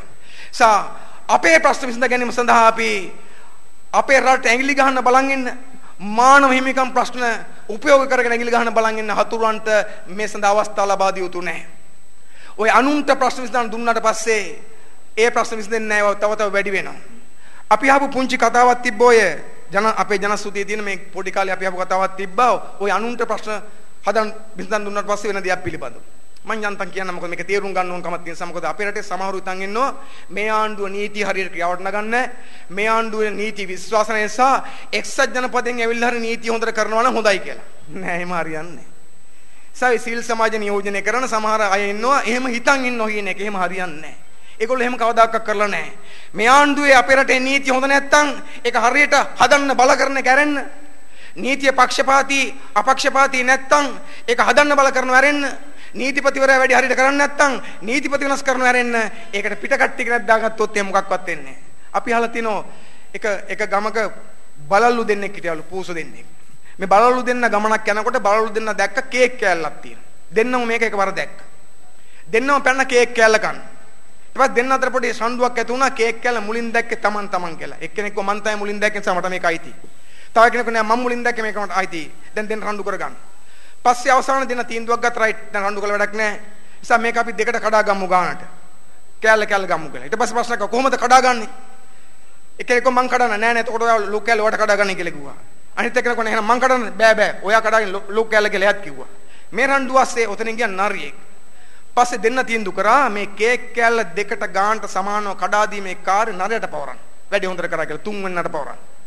තුන්වෙනිට බාර දුන්නා කේක් කෑල්ල මෙන්න අපි දෙන්න මේක දැක්ක දෙන්නට මේක අයිති නිසා මේක අපිට ගානට කඩලා දෙන්න එකට කියලා. නරිය කිව්වා රයිට් ඔක සුළු ප්‍රශ්න මම ওই જાති ප්‍රශ්න ගොඩක් විසඳලා තියෙන ලෝකේ පුරාම මට දෙන්නකෝ කියලා ගත්තා. අරගෙන කැඩුවා දෙකට. කැඩුවම කෑල්ලක් කුඩයි කෑල්ලක් ලොකුයි. නරිය බලලා කිව්වා රයිට්. දැන් මේකේ සමානකම නැහැනේ එකක් ලොකු වැඩිනේ. ඒ වුණත් අසාධාරණ නිසා පොඩ්ඩක් ඉන්නකෝ මම මේක සමාන කරන්නම් කියලා ලොකු කෑල්ලෙන් කෑල්ලක් නරිය කෑවා. සමාන කරන්න. එතකොට අනික් කෑල්ල ලොකු වුණා මේක හොඳනම් පොඩි වෙලා. ඊට පස්සේ ආයෙ නරියා කිව්වා ඒත් හරියන්නේ එකක් පොඩ්ඩක් ලොකු වැඩිනේ මේක සමාන කරමු කියලා ආයෙත් අර ලොකු කෑල්ලෙන් කෑල්ලක් නරියා කෑවා. දැන් නරියා කේක් කෑලි දෙක සමාන කරන කෑල්ල කෑල්ල දෙපැත්තෙන් කකා යනවා. ගියාම අන්තිමට චූටි කෑල්ලක් තමයි ඉතුරු වුනේ. දැන් පූසු දෙන්න බලන් හිටියා දැන් මොකක්වත් නැහැ නරියා කකා ඉන්නවා. පස්සේ පූසු දෙන්න කිව්වලු ආ කමන්න කමන්න ලොකු පුණට කමක් නැහැ. අපිට ওই කෑලි දෙක දීපන් කියලා. නරියා කිව්වලු එහෙම කොහමද? ඇයි මගේ මහන්සිය? මම මහන්සි වුණානේ. මහන්සියට මේක මට කියලා ඒ දෙකක් දාගත්තලු කටි. ඒ නිසා ওই ප්‍රශ්න තමන් විසඳ ගන්න තු අනුන්ට බාර දුන්නොත් මොකක්වත් අපිට නැති වෙනවා. අපි කියන්නේ ඒකයි. මේ රටේ අධිරාජ්‍යවාදී මැදිහත් වීමට තියන්න ඕනේ නැහැ. එදා 1989 අපේ සහෝදරු දීපදනකොට අධිරාජ්‍යවාදී මැදිහත් වීමකට එරෙහිව කරපු සටනක් එතන තිබුණා. ඒකයි මේ කියන්නේ අපි. වෙනස් ක්‍රමයකින් දැන් ඒක ඇවිත් තියෙනවා. ධනවාදේ තාම තියෙනවා. නිසා ධනවාදේ වෙනස් කරලා අධිරාජ්‍යවාදී මැදිහත් වීමට ඉන්නකට වෙනස් කරලා මේ රට රකින්න මේ රටේ නිදහස මේ රටේ ස්වෛරීත්වය මේ රටේ ස්වාධීනත්වය ආරක්ෂා කළා. මේ රටේ මේ බංකොලොත් ධනවාදය පරාජයටපත් කරලා නව සමාජයක් නිර්මාණය කිරීමේ නව සමාජයක් නිර්මාණය කිරීමේ වගකීම තමයි අපි ඉස්සරහ තියෙන්නේ. ඒ වෙනුවෙන් අපි ධෛර්යයෙන් කැප වෙන්න ඕන. ජනතා විමුක්ති පෙරමුණ ඒ ගමන් මගේ දුවක් ඇවිත් තියෙනවා. ඔබ කවුරුත් දන්නෝ ජනතා විමුක්ති පෙරමුණ මේ මහා බාධක මැද්දේ මේ රටේ පීඩාවටපත් ජනතාවට නායකත්වය දෙන්න පුළුවන් දැවැන්ත පක්ෂයක් හදලා තියෙනවා. අපි ඕන කෙනෙක් අහනවා ජනතා විමුක්ති පෙරමුණ තුළ තියෙන කැපවීමට ජනතා විමුක්ති පෙරමුණේ පරිත්‍යාගයට ජනතා විමුක්ති පෙරමුණේ සංයමයට ජනතා විමුක්ති පෙරමුණේ විනයට කිට්ටු කරන්න පුළුවන් දේශපාලන ව්‍යාපාරයක් අපේ රටේ තියෙනවද? නෑ නෑ නෑ එකයි තියෙන්නේ ඒක තමයි ජනතා විමුක්ති පෙරමුණ. අපි හැම පක්ෂයක් හදලා තියෙනවා. ඒ පක්ෂ හදන පටන් ගත්තේ රෝහණ සහෝදරයා. ඒ දීපුතු සහෝදරුන්ගේ අතින් ගිලිච්ච රතු දජය අපේ අතේ තියාගෙන දුෂ්කරතා මැද්දේ කකුලෙන් අදිද්දී පලා යද්දී කුමන්ත්‍රණ කරද්දී කල්ලි හදද්දී අපි ඒවා සියල්ල පරද්දලා ජනතා විමුක්ති පෙරමුණ පොදු ජනයාගේ පක්ෂය බවට අදපත් කරලා තියෙනවා. අපිට ඡන්ද කාලේ ඡන්ද නුදුන්නත් අපි කවුරුත් දන්නවා පොදු ජනයාගේ හදවතේ තියෙන පක්ෂය ජනතා විමුක්ති පෙරමුණ. අපේ රටේ ජනතාව ඡන්ද දෙනකොට කොහොමද වුණත් සමන්ට ගැටලුවක් මතුනාම මුලින්ම මතක් වෙන පක්ෂය මොකද්ද? ජනතා විමුක්ති පෙරමුණ. රැකියා ඉල්ල පාට බෑපු උපාධාරියට මුලින්ම මතක් වෙන්නේ JVP එකට කියලා බලන්න ඕන මේක කියලා. ගොවි ජනයාට මුලින් මතක් වෙන්නේ JVPට කියන්න ඕන කියලා. රටේ කොතනද ප්‍රශ්නයක් මතුවෙන්නේ? මතුවෙච්ච හැම වෙලාවකම ජනතා විමුක්ති පෙරමුණ මතක් වෙන තරමට ජනතා විමුක්ති පෙරමුණ ජනතාවගේ අරගලයට සම්බන්ධ වෙලා තියෙනවා. සම්බන්ධයි කියලා ජනතාව තේරුම් ගන්න තියෙනවා. ඒක අපට විශාල ජයග්‍රහණයක්. ඒ වගේම ආදරණීය සහෝදරුනි මේ වෙනකොට ජනතා විමුක්ති පෙරමුණ දුෂ්කරතා මැද්දේ ලොකු ගමනක් ඇවිත් තියෙනවා. අපි දෙවෙන්ත බහුජන ව්‍යාපාරයක් හදලා තියෙනවා. අපි පක්ෂ හදලා තියෙනවා. ඒ විතරක් නෙවෙයි. අපි අද ජාතික ජාත්‍යන්තර දෙපැත්තේම මහා ජයග්‍රහණ ලැබමින් යනවා. පහුගිය පාර්ලිමේන්තු මැතිවරණේ. අපේ ඡන්ද ගන්න මොකක් වුණත් අවසානයේ මොකක්දලා තින්නේ පාර්ලිමේන්තුවේ මේ ධනපති පාර්ලිමේන්තුවේ ජනතාව වෙනුවෙන් වග කියන සැබෑ විපක්ෂයේ භූමිකාව ජනතා විමුක්ති පෙරමුණට ලැබිලා තියෙනවා. මේ පාර්ලිමේන්තුවේ විපක්ෂයේ ප්‍රධාන සංවිධායකම අපේ පක්ෂ නායක අනුරාධ සනක සහෝදරට ලැබිලා තියෙනවා. ඒ මීට කලින් දිනාගත්තු දේවල් නෙවෙයි. ඒවා නොදී ඉන්න බැරිලා තියෙන හතුරන්ට. අපි ජාතික වශයෙන් ගත්තොත් එහෙම දැවැන්ත දෙයක් දිනාගෙන තියෙනවා. අපි උර්සමති ව්‍යාපාර, ගොවි සංවිධාන, තරුණ සංවිධාන, ශිෂ්‍ය සංවිධාන ශක්තිමත් කරලා රට ඇතුලේ අපි ඇත්ත ජනතාවගේ ජනතාව වෙනුවෙන් වැඩ කරන ධනවාදයට විකල්ප දේශපාලන ව්‍යාපාරයේ විපක්ෂ බවට පත් වෙලා තියෙනවා.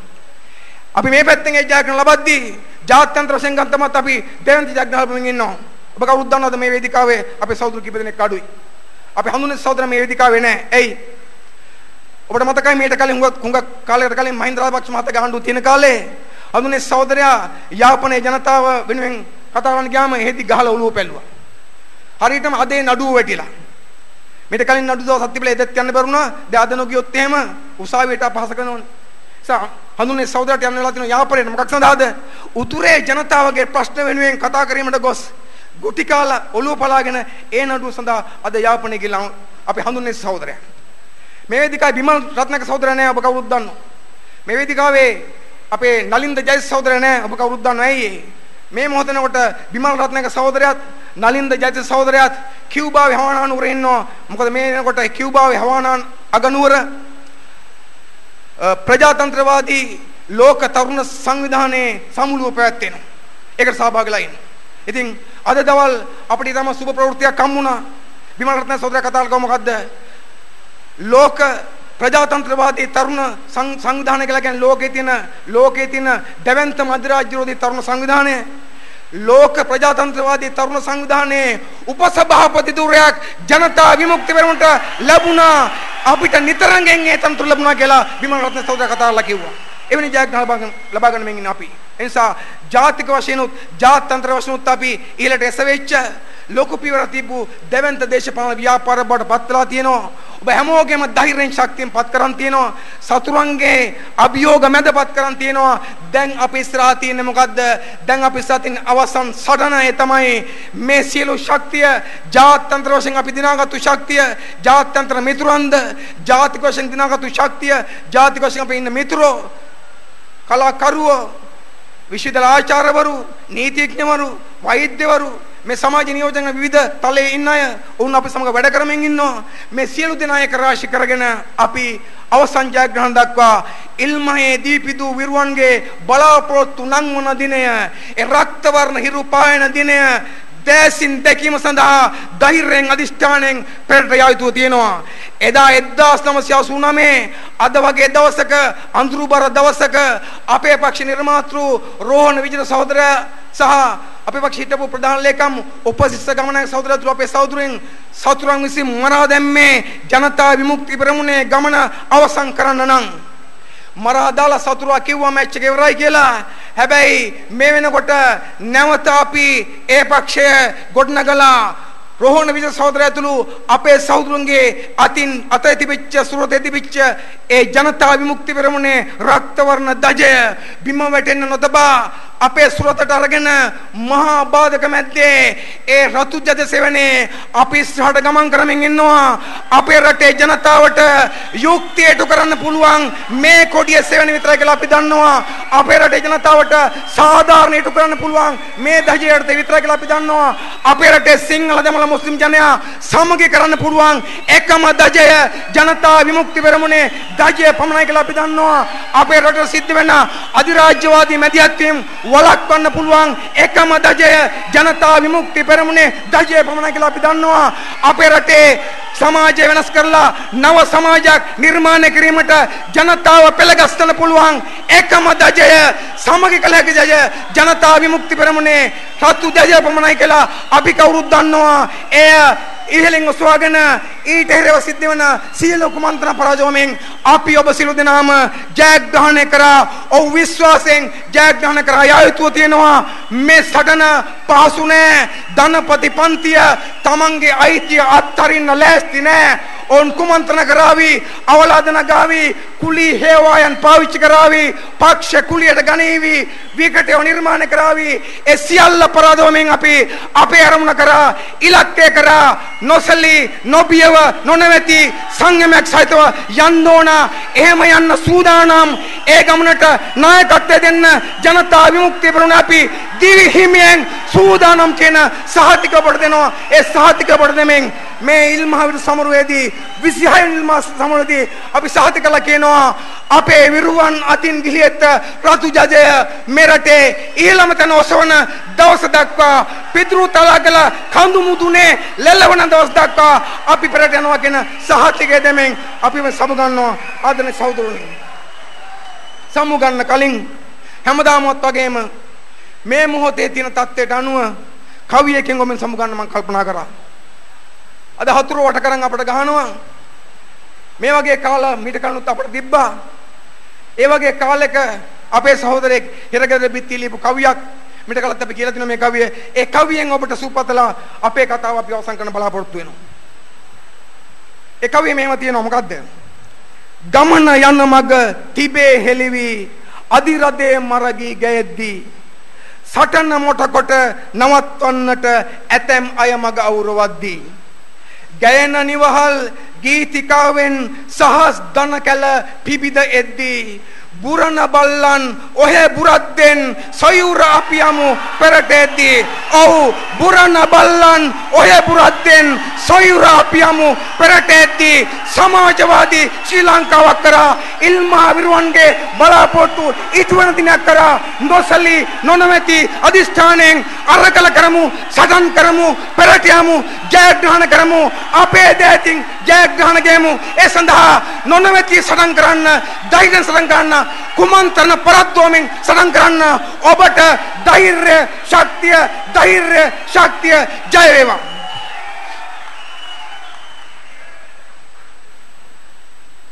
හෝරා කිහිපයක් පුරාවට ඇදහැලෙන අනෝරා වැසි නොතකා 26 වෙනි ඉල්මහ විරු සමරුව සමග ඒකාත්මික වන ඔබ තව ස්වල්ප වේලාවක් අප සමග අත්වල බැඳගෙන රැඳී සිටින්න. සමාජවාදී කලා සංගමයේ විසින් ඉදිරිපත් කරනු ලබන 26 වෙනි ඉල්මහ විරු සමරුවට සමගාමීව පවත්වනු ලබන සමරුගිරි ප්‍රසංගය සමගත් අපත් සමග අත්වල බැඳගෙන ඒකාත්මික වන්නට අපි ඔබට සහෝදරත්වයෙන් ආරාධනා කර සිටිනවා.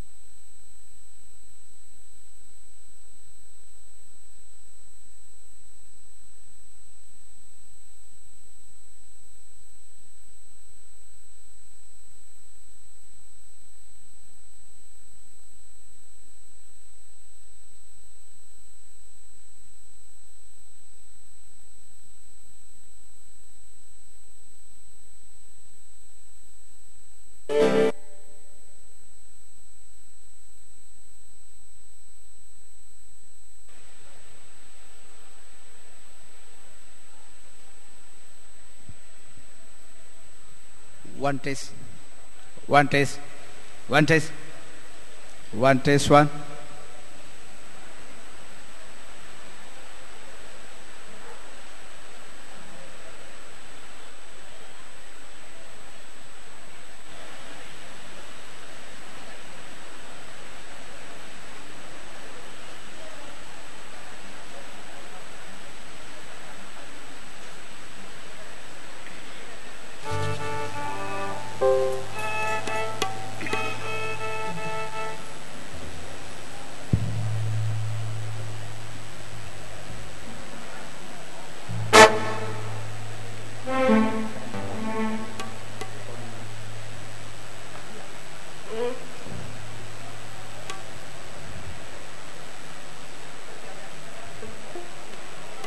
ආදරණීය විරු සොහොයුරණි සොහොයුරියනි.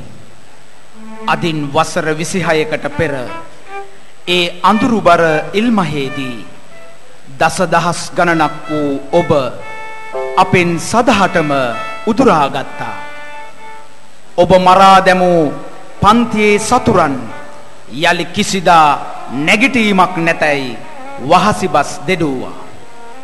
වරින් වර සටන අතහැර පලාගියවුන්ද පන්තියේ පක්ෂයට එරෙහිව නැගී සිටියා. විවිධ පාවාදීම් සිදු කළා. එවන් මොහොතක ඔබේ අමිල ජීවිත කුසුම පුදා දිවිහිමියෙන් ගොඩනැගූ පක්ෂේ රතු දජය ලාංකීය භූමිය මත ඉහලින් ඔසවා තබන්නට අපි යළිත් සමත් වී සිටින්නෙමු. එදා ධනපති පන්තියේ පාලකීන් විසින් වෙඩි තබා මරා දමද්දී ඔබ විසින් බිඳකුදු අත් නොහල ඒ උතුම් අරමුණ වෙනුවෙන් ජීවිත පරිත්‍යාගයෙන් කැපවන බවට මේ 26 වන ඉල්මහා සමුරුවේ සිට අප ඔබට මෙසේ සපත කොට ගයන්නෙමු.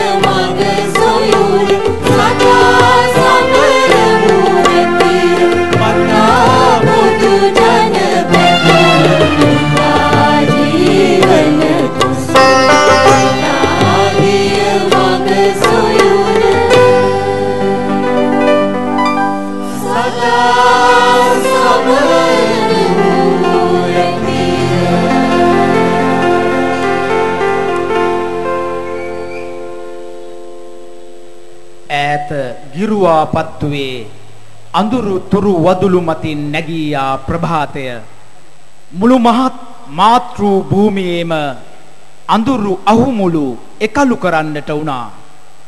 ඒ ප්‍රභාතයෙන් අවදිමත් වූ සුවහසක් පීඩිත ජනයා තම විමුක්තිය වෙනුවෙන් නැගී සිටින්නට වුණා. එහෙත් අදින් වසර 26කට පෙර එක් අඳුරුබර දිනක එක් අඳුරුබර පැයක. ඒ ප්‍රභාතය මේ බිමෙන් සදාටම උදුරාගෙන තිබුණා. ආදරණීය නියමුවානෙනි.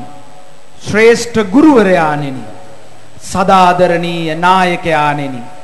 මේ බිමට net ලබා දුන්නේ ඔබයි. කප් කෙලක් දුක් විඳින මිනිසුන්ගේ අදිෂ්ඨානයේ වීරයේ උල්පත ඌයේ ඔබයි. උදා වෙන සෑම දිනකම උදා වෙන සෑම පැයකම ජයග්‍රහණයේදී පරාජයේදී එක ලෙසම අප දකින අපට මග කියන සූර්යාලෝකය ඔබයි. ඔබම පමණයි.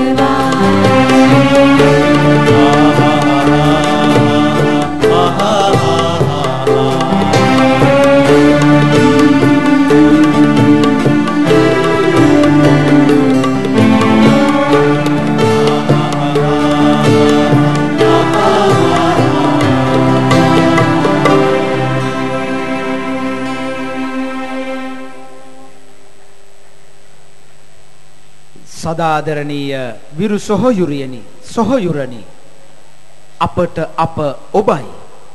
අපේ ධෛර්යයත් අපේ ශක්තියත් ඔබමයි. ඝන අන්ධකාරයේ වත් නියත වශයෙන් ළඟ එන ආලෝකය පතමින් ගමන් කරන්නට අපේ পায়ට සවිබල දෙන්නේ ඔබයි. අපේ හදවතට ධෛර්යය දෙන්නේ ඔබයි. ලක්ෂ සංඛ්‍යාත ජනතාවට ආදරය කරන්නට ඉගැන්වූ ඔබට අපි වචනයට පෙරලිය නොහැකි තරම් ආදරය කරන්නෙමු. මුළු මහත් පොදු ජනතාවගේ විමුක්තිය ප්‍රාර්ථනා කළ ඔබ අපි සදා සමරන්නෙමු.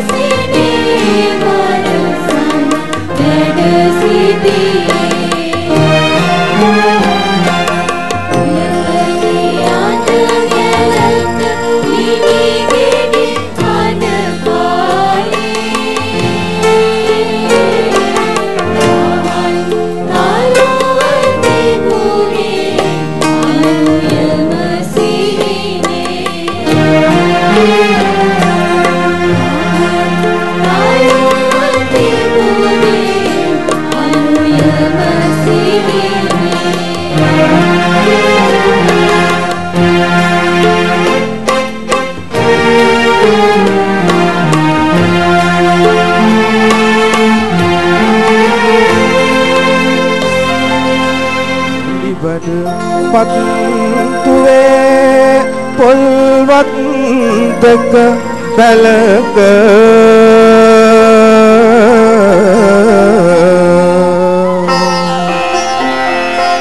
සත්ත පුත්‍රයානෝ බිහි වූ සේක. අදුර පහන් කොට අප සනසනු පිණිස.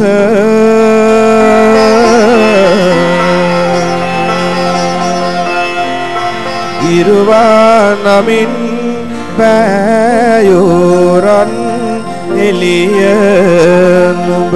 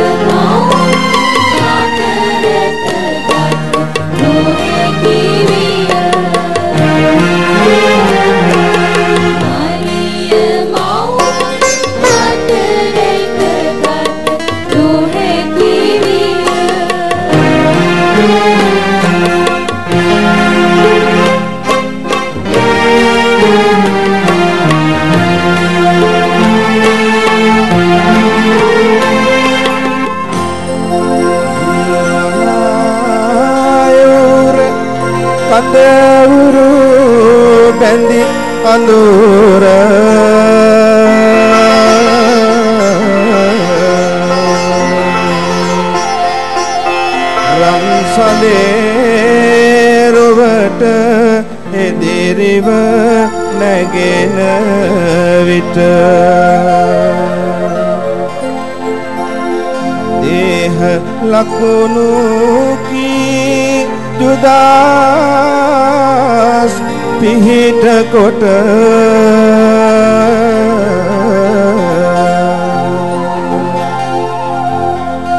දැත දෙපය බිඳ ලියුවේ අපේ සඳ.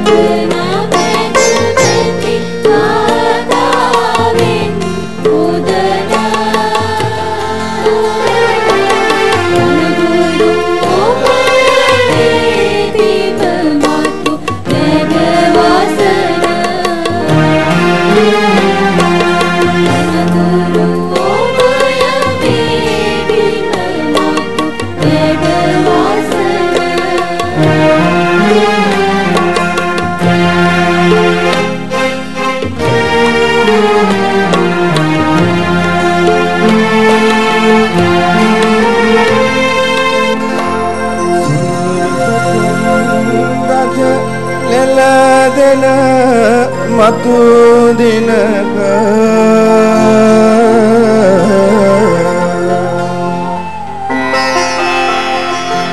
පිපෙන අරුණ පුද දෙමි අපි ඔබ නමට.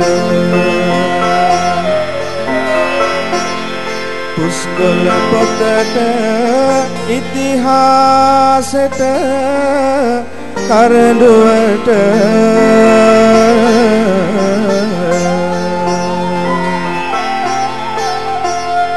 දොහොත් මුදුන් දී බැතියෙන් වඳින ලෙස.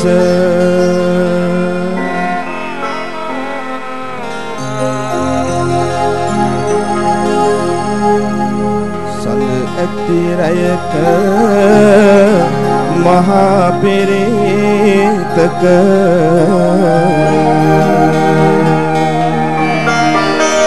ගුණය ලෙස අවසර සිපගන්ට ඔබගේ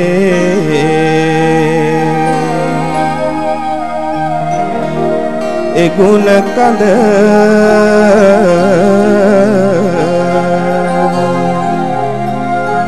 අවසර සිපගන්ට ඔබගේ.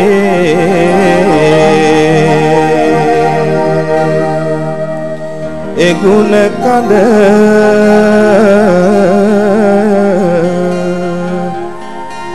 අවසර සිපගන්ට ඔබගේ.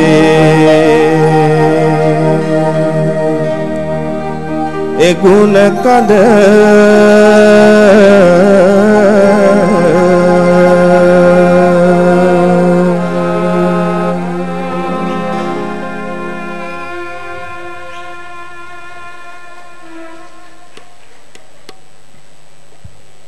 මව්බිම නැත්නම් මරණය යන උත්තුංග පරමාදර්ශය විප්ලවීය ජීවගුණය ඔබ අපට ඉතිරි කොට තබා නික්ම ගියහ. අප මරා දැමුවත් අප නගන හඬ සදා නොමියුණු ඇතැයි ඔබ අපට පැවසුවෙමු. ඔව් දයාබර විරු සොහයුරියනි සොයුරනි. ඔබ මරා දැමුවත් ඔබ විසින් අත් නොහල ඒ උත්තුංග ප්‍රාර්ථනාවන් ජයග්‍රහණයෙන් කෙලවර කරන බවට අප ඔබ ඉදිරියේ සපත කොට ගයන්නෙමු. මේ විප්ලවීය ගීතය ඔබේ ඒ උස් ප්‍රාර්ථනාව වෙනුවෙනි.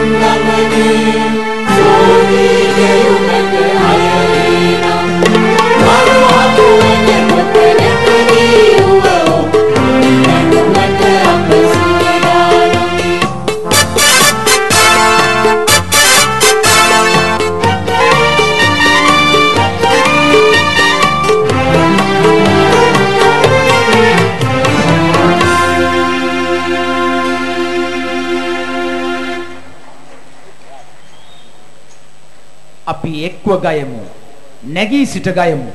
විශ්ව සහෝදරත්වයේ ප්‍රගීතය ජාත්‍යන්තර ගීතය මාක්ස් එංගල්ස් ලෙනින් විසින් භාවිත කරනු ලැබූ අද ලොව සියලු ජාත්‍යන්තරවාදීන්ගේ ගීතය ජනතා විමුක්ති පෙරමුණේ ගීතය.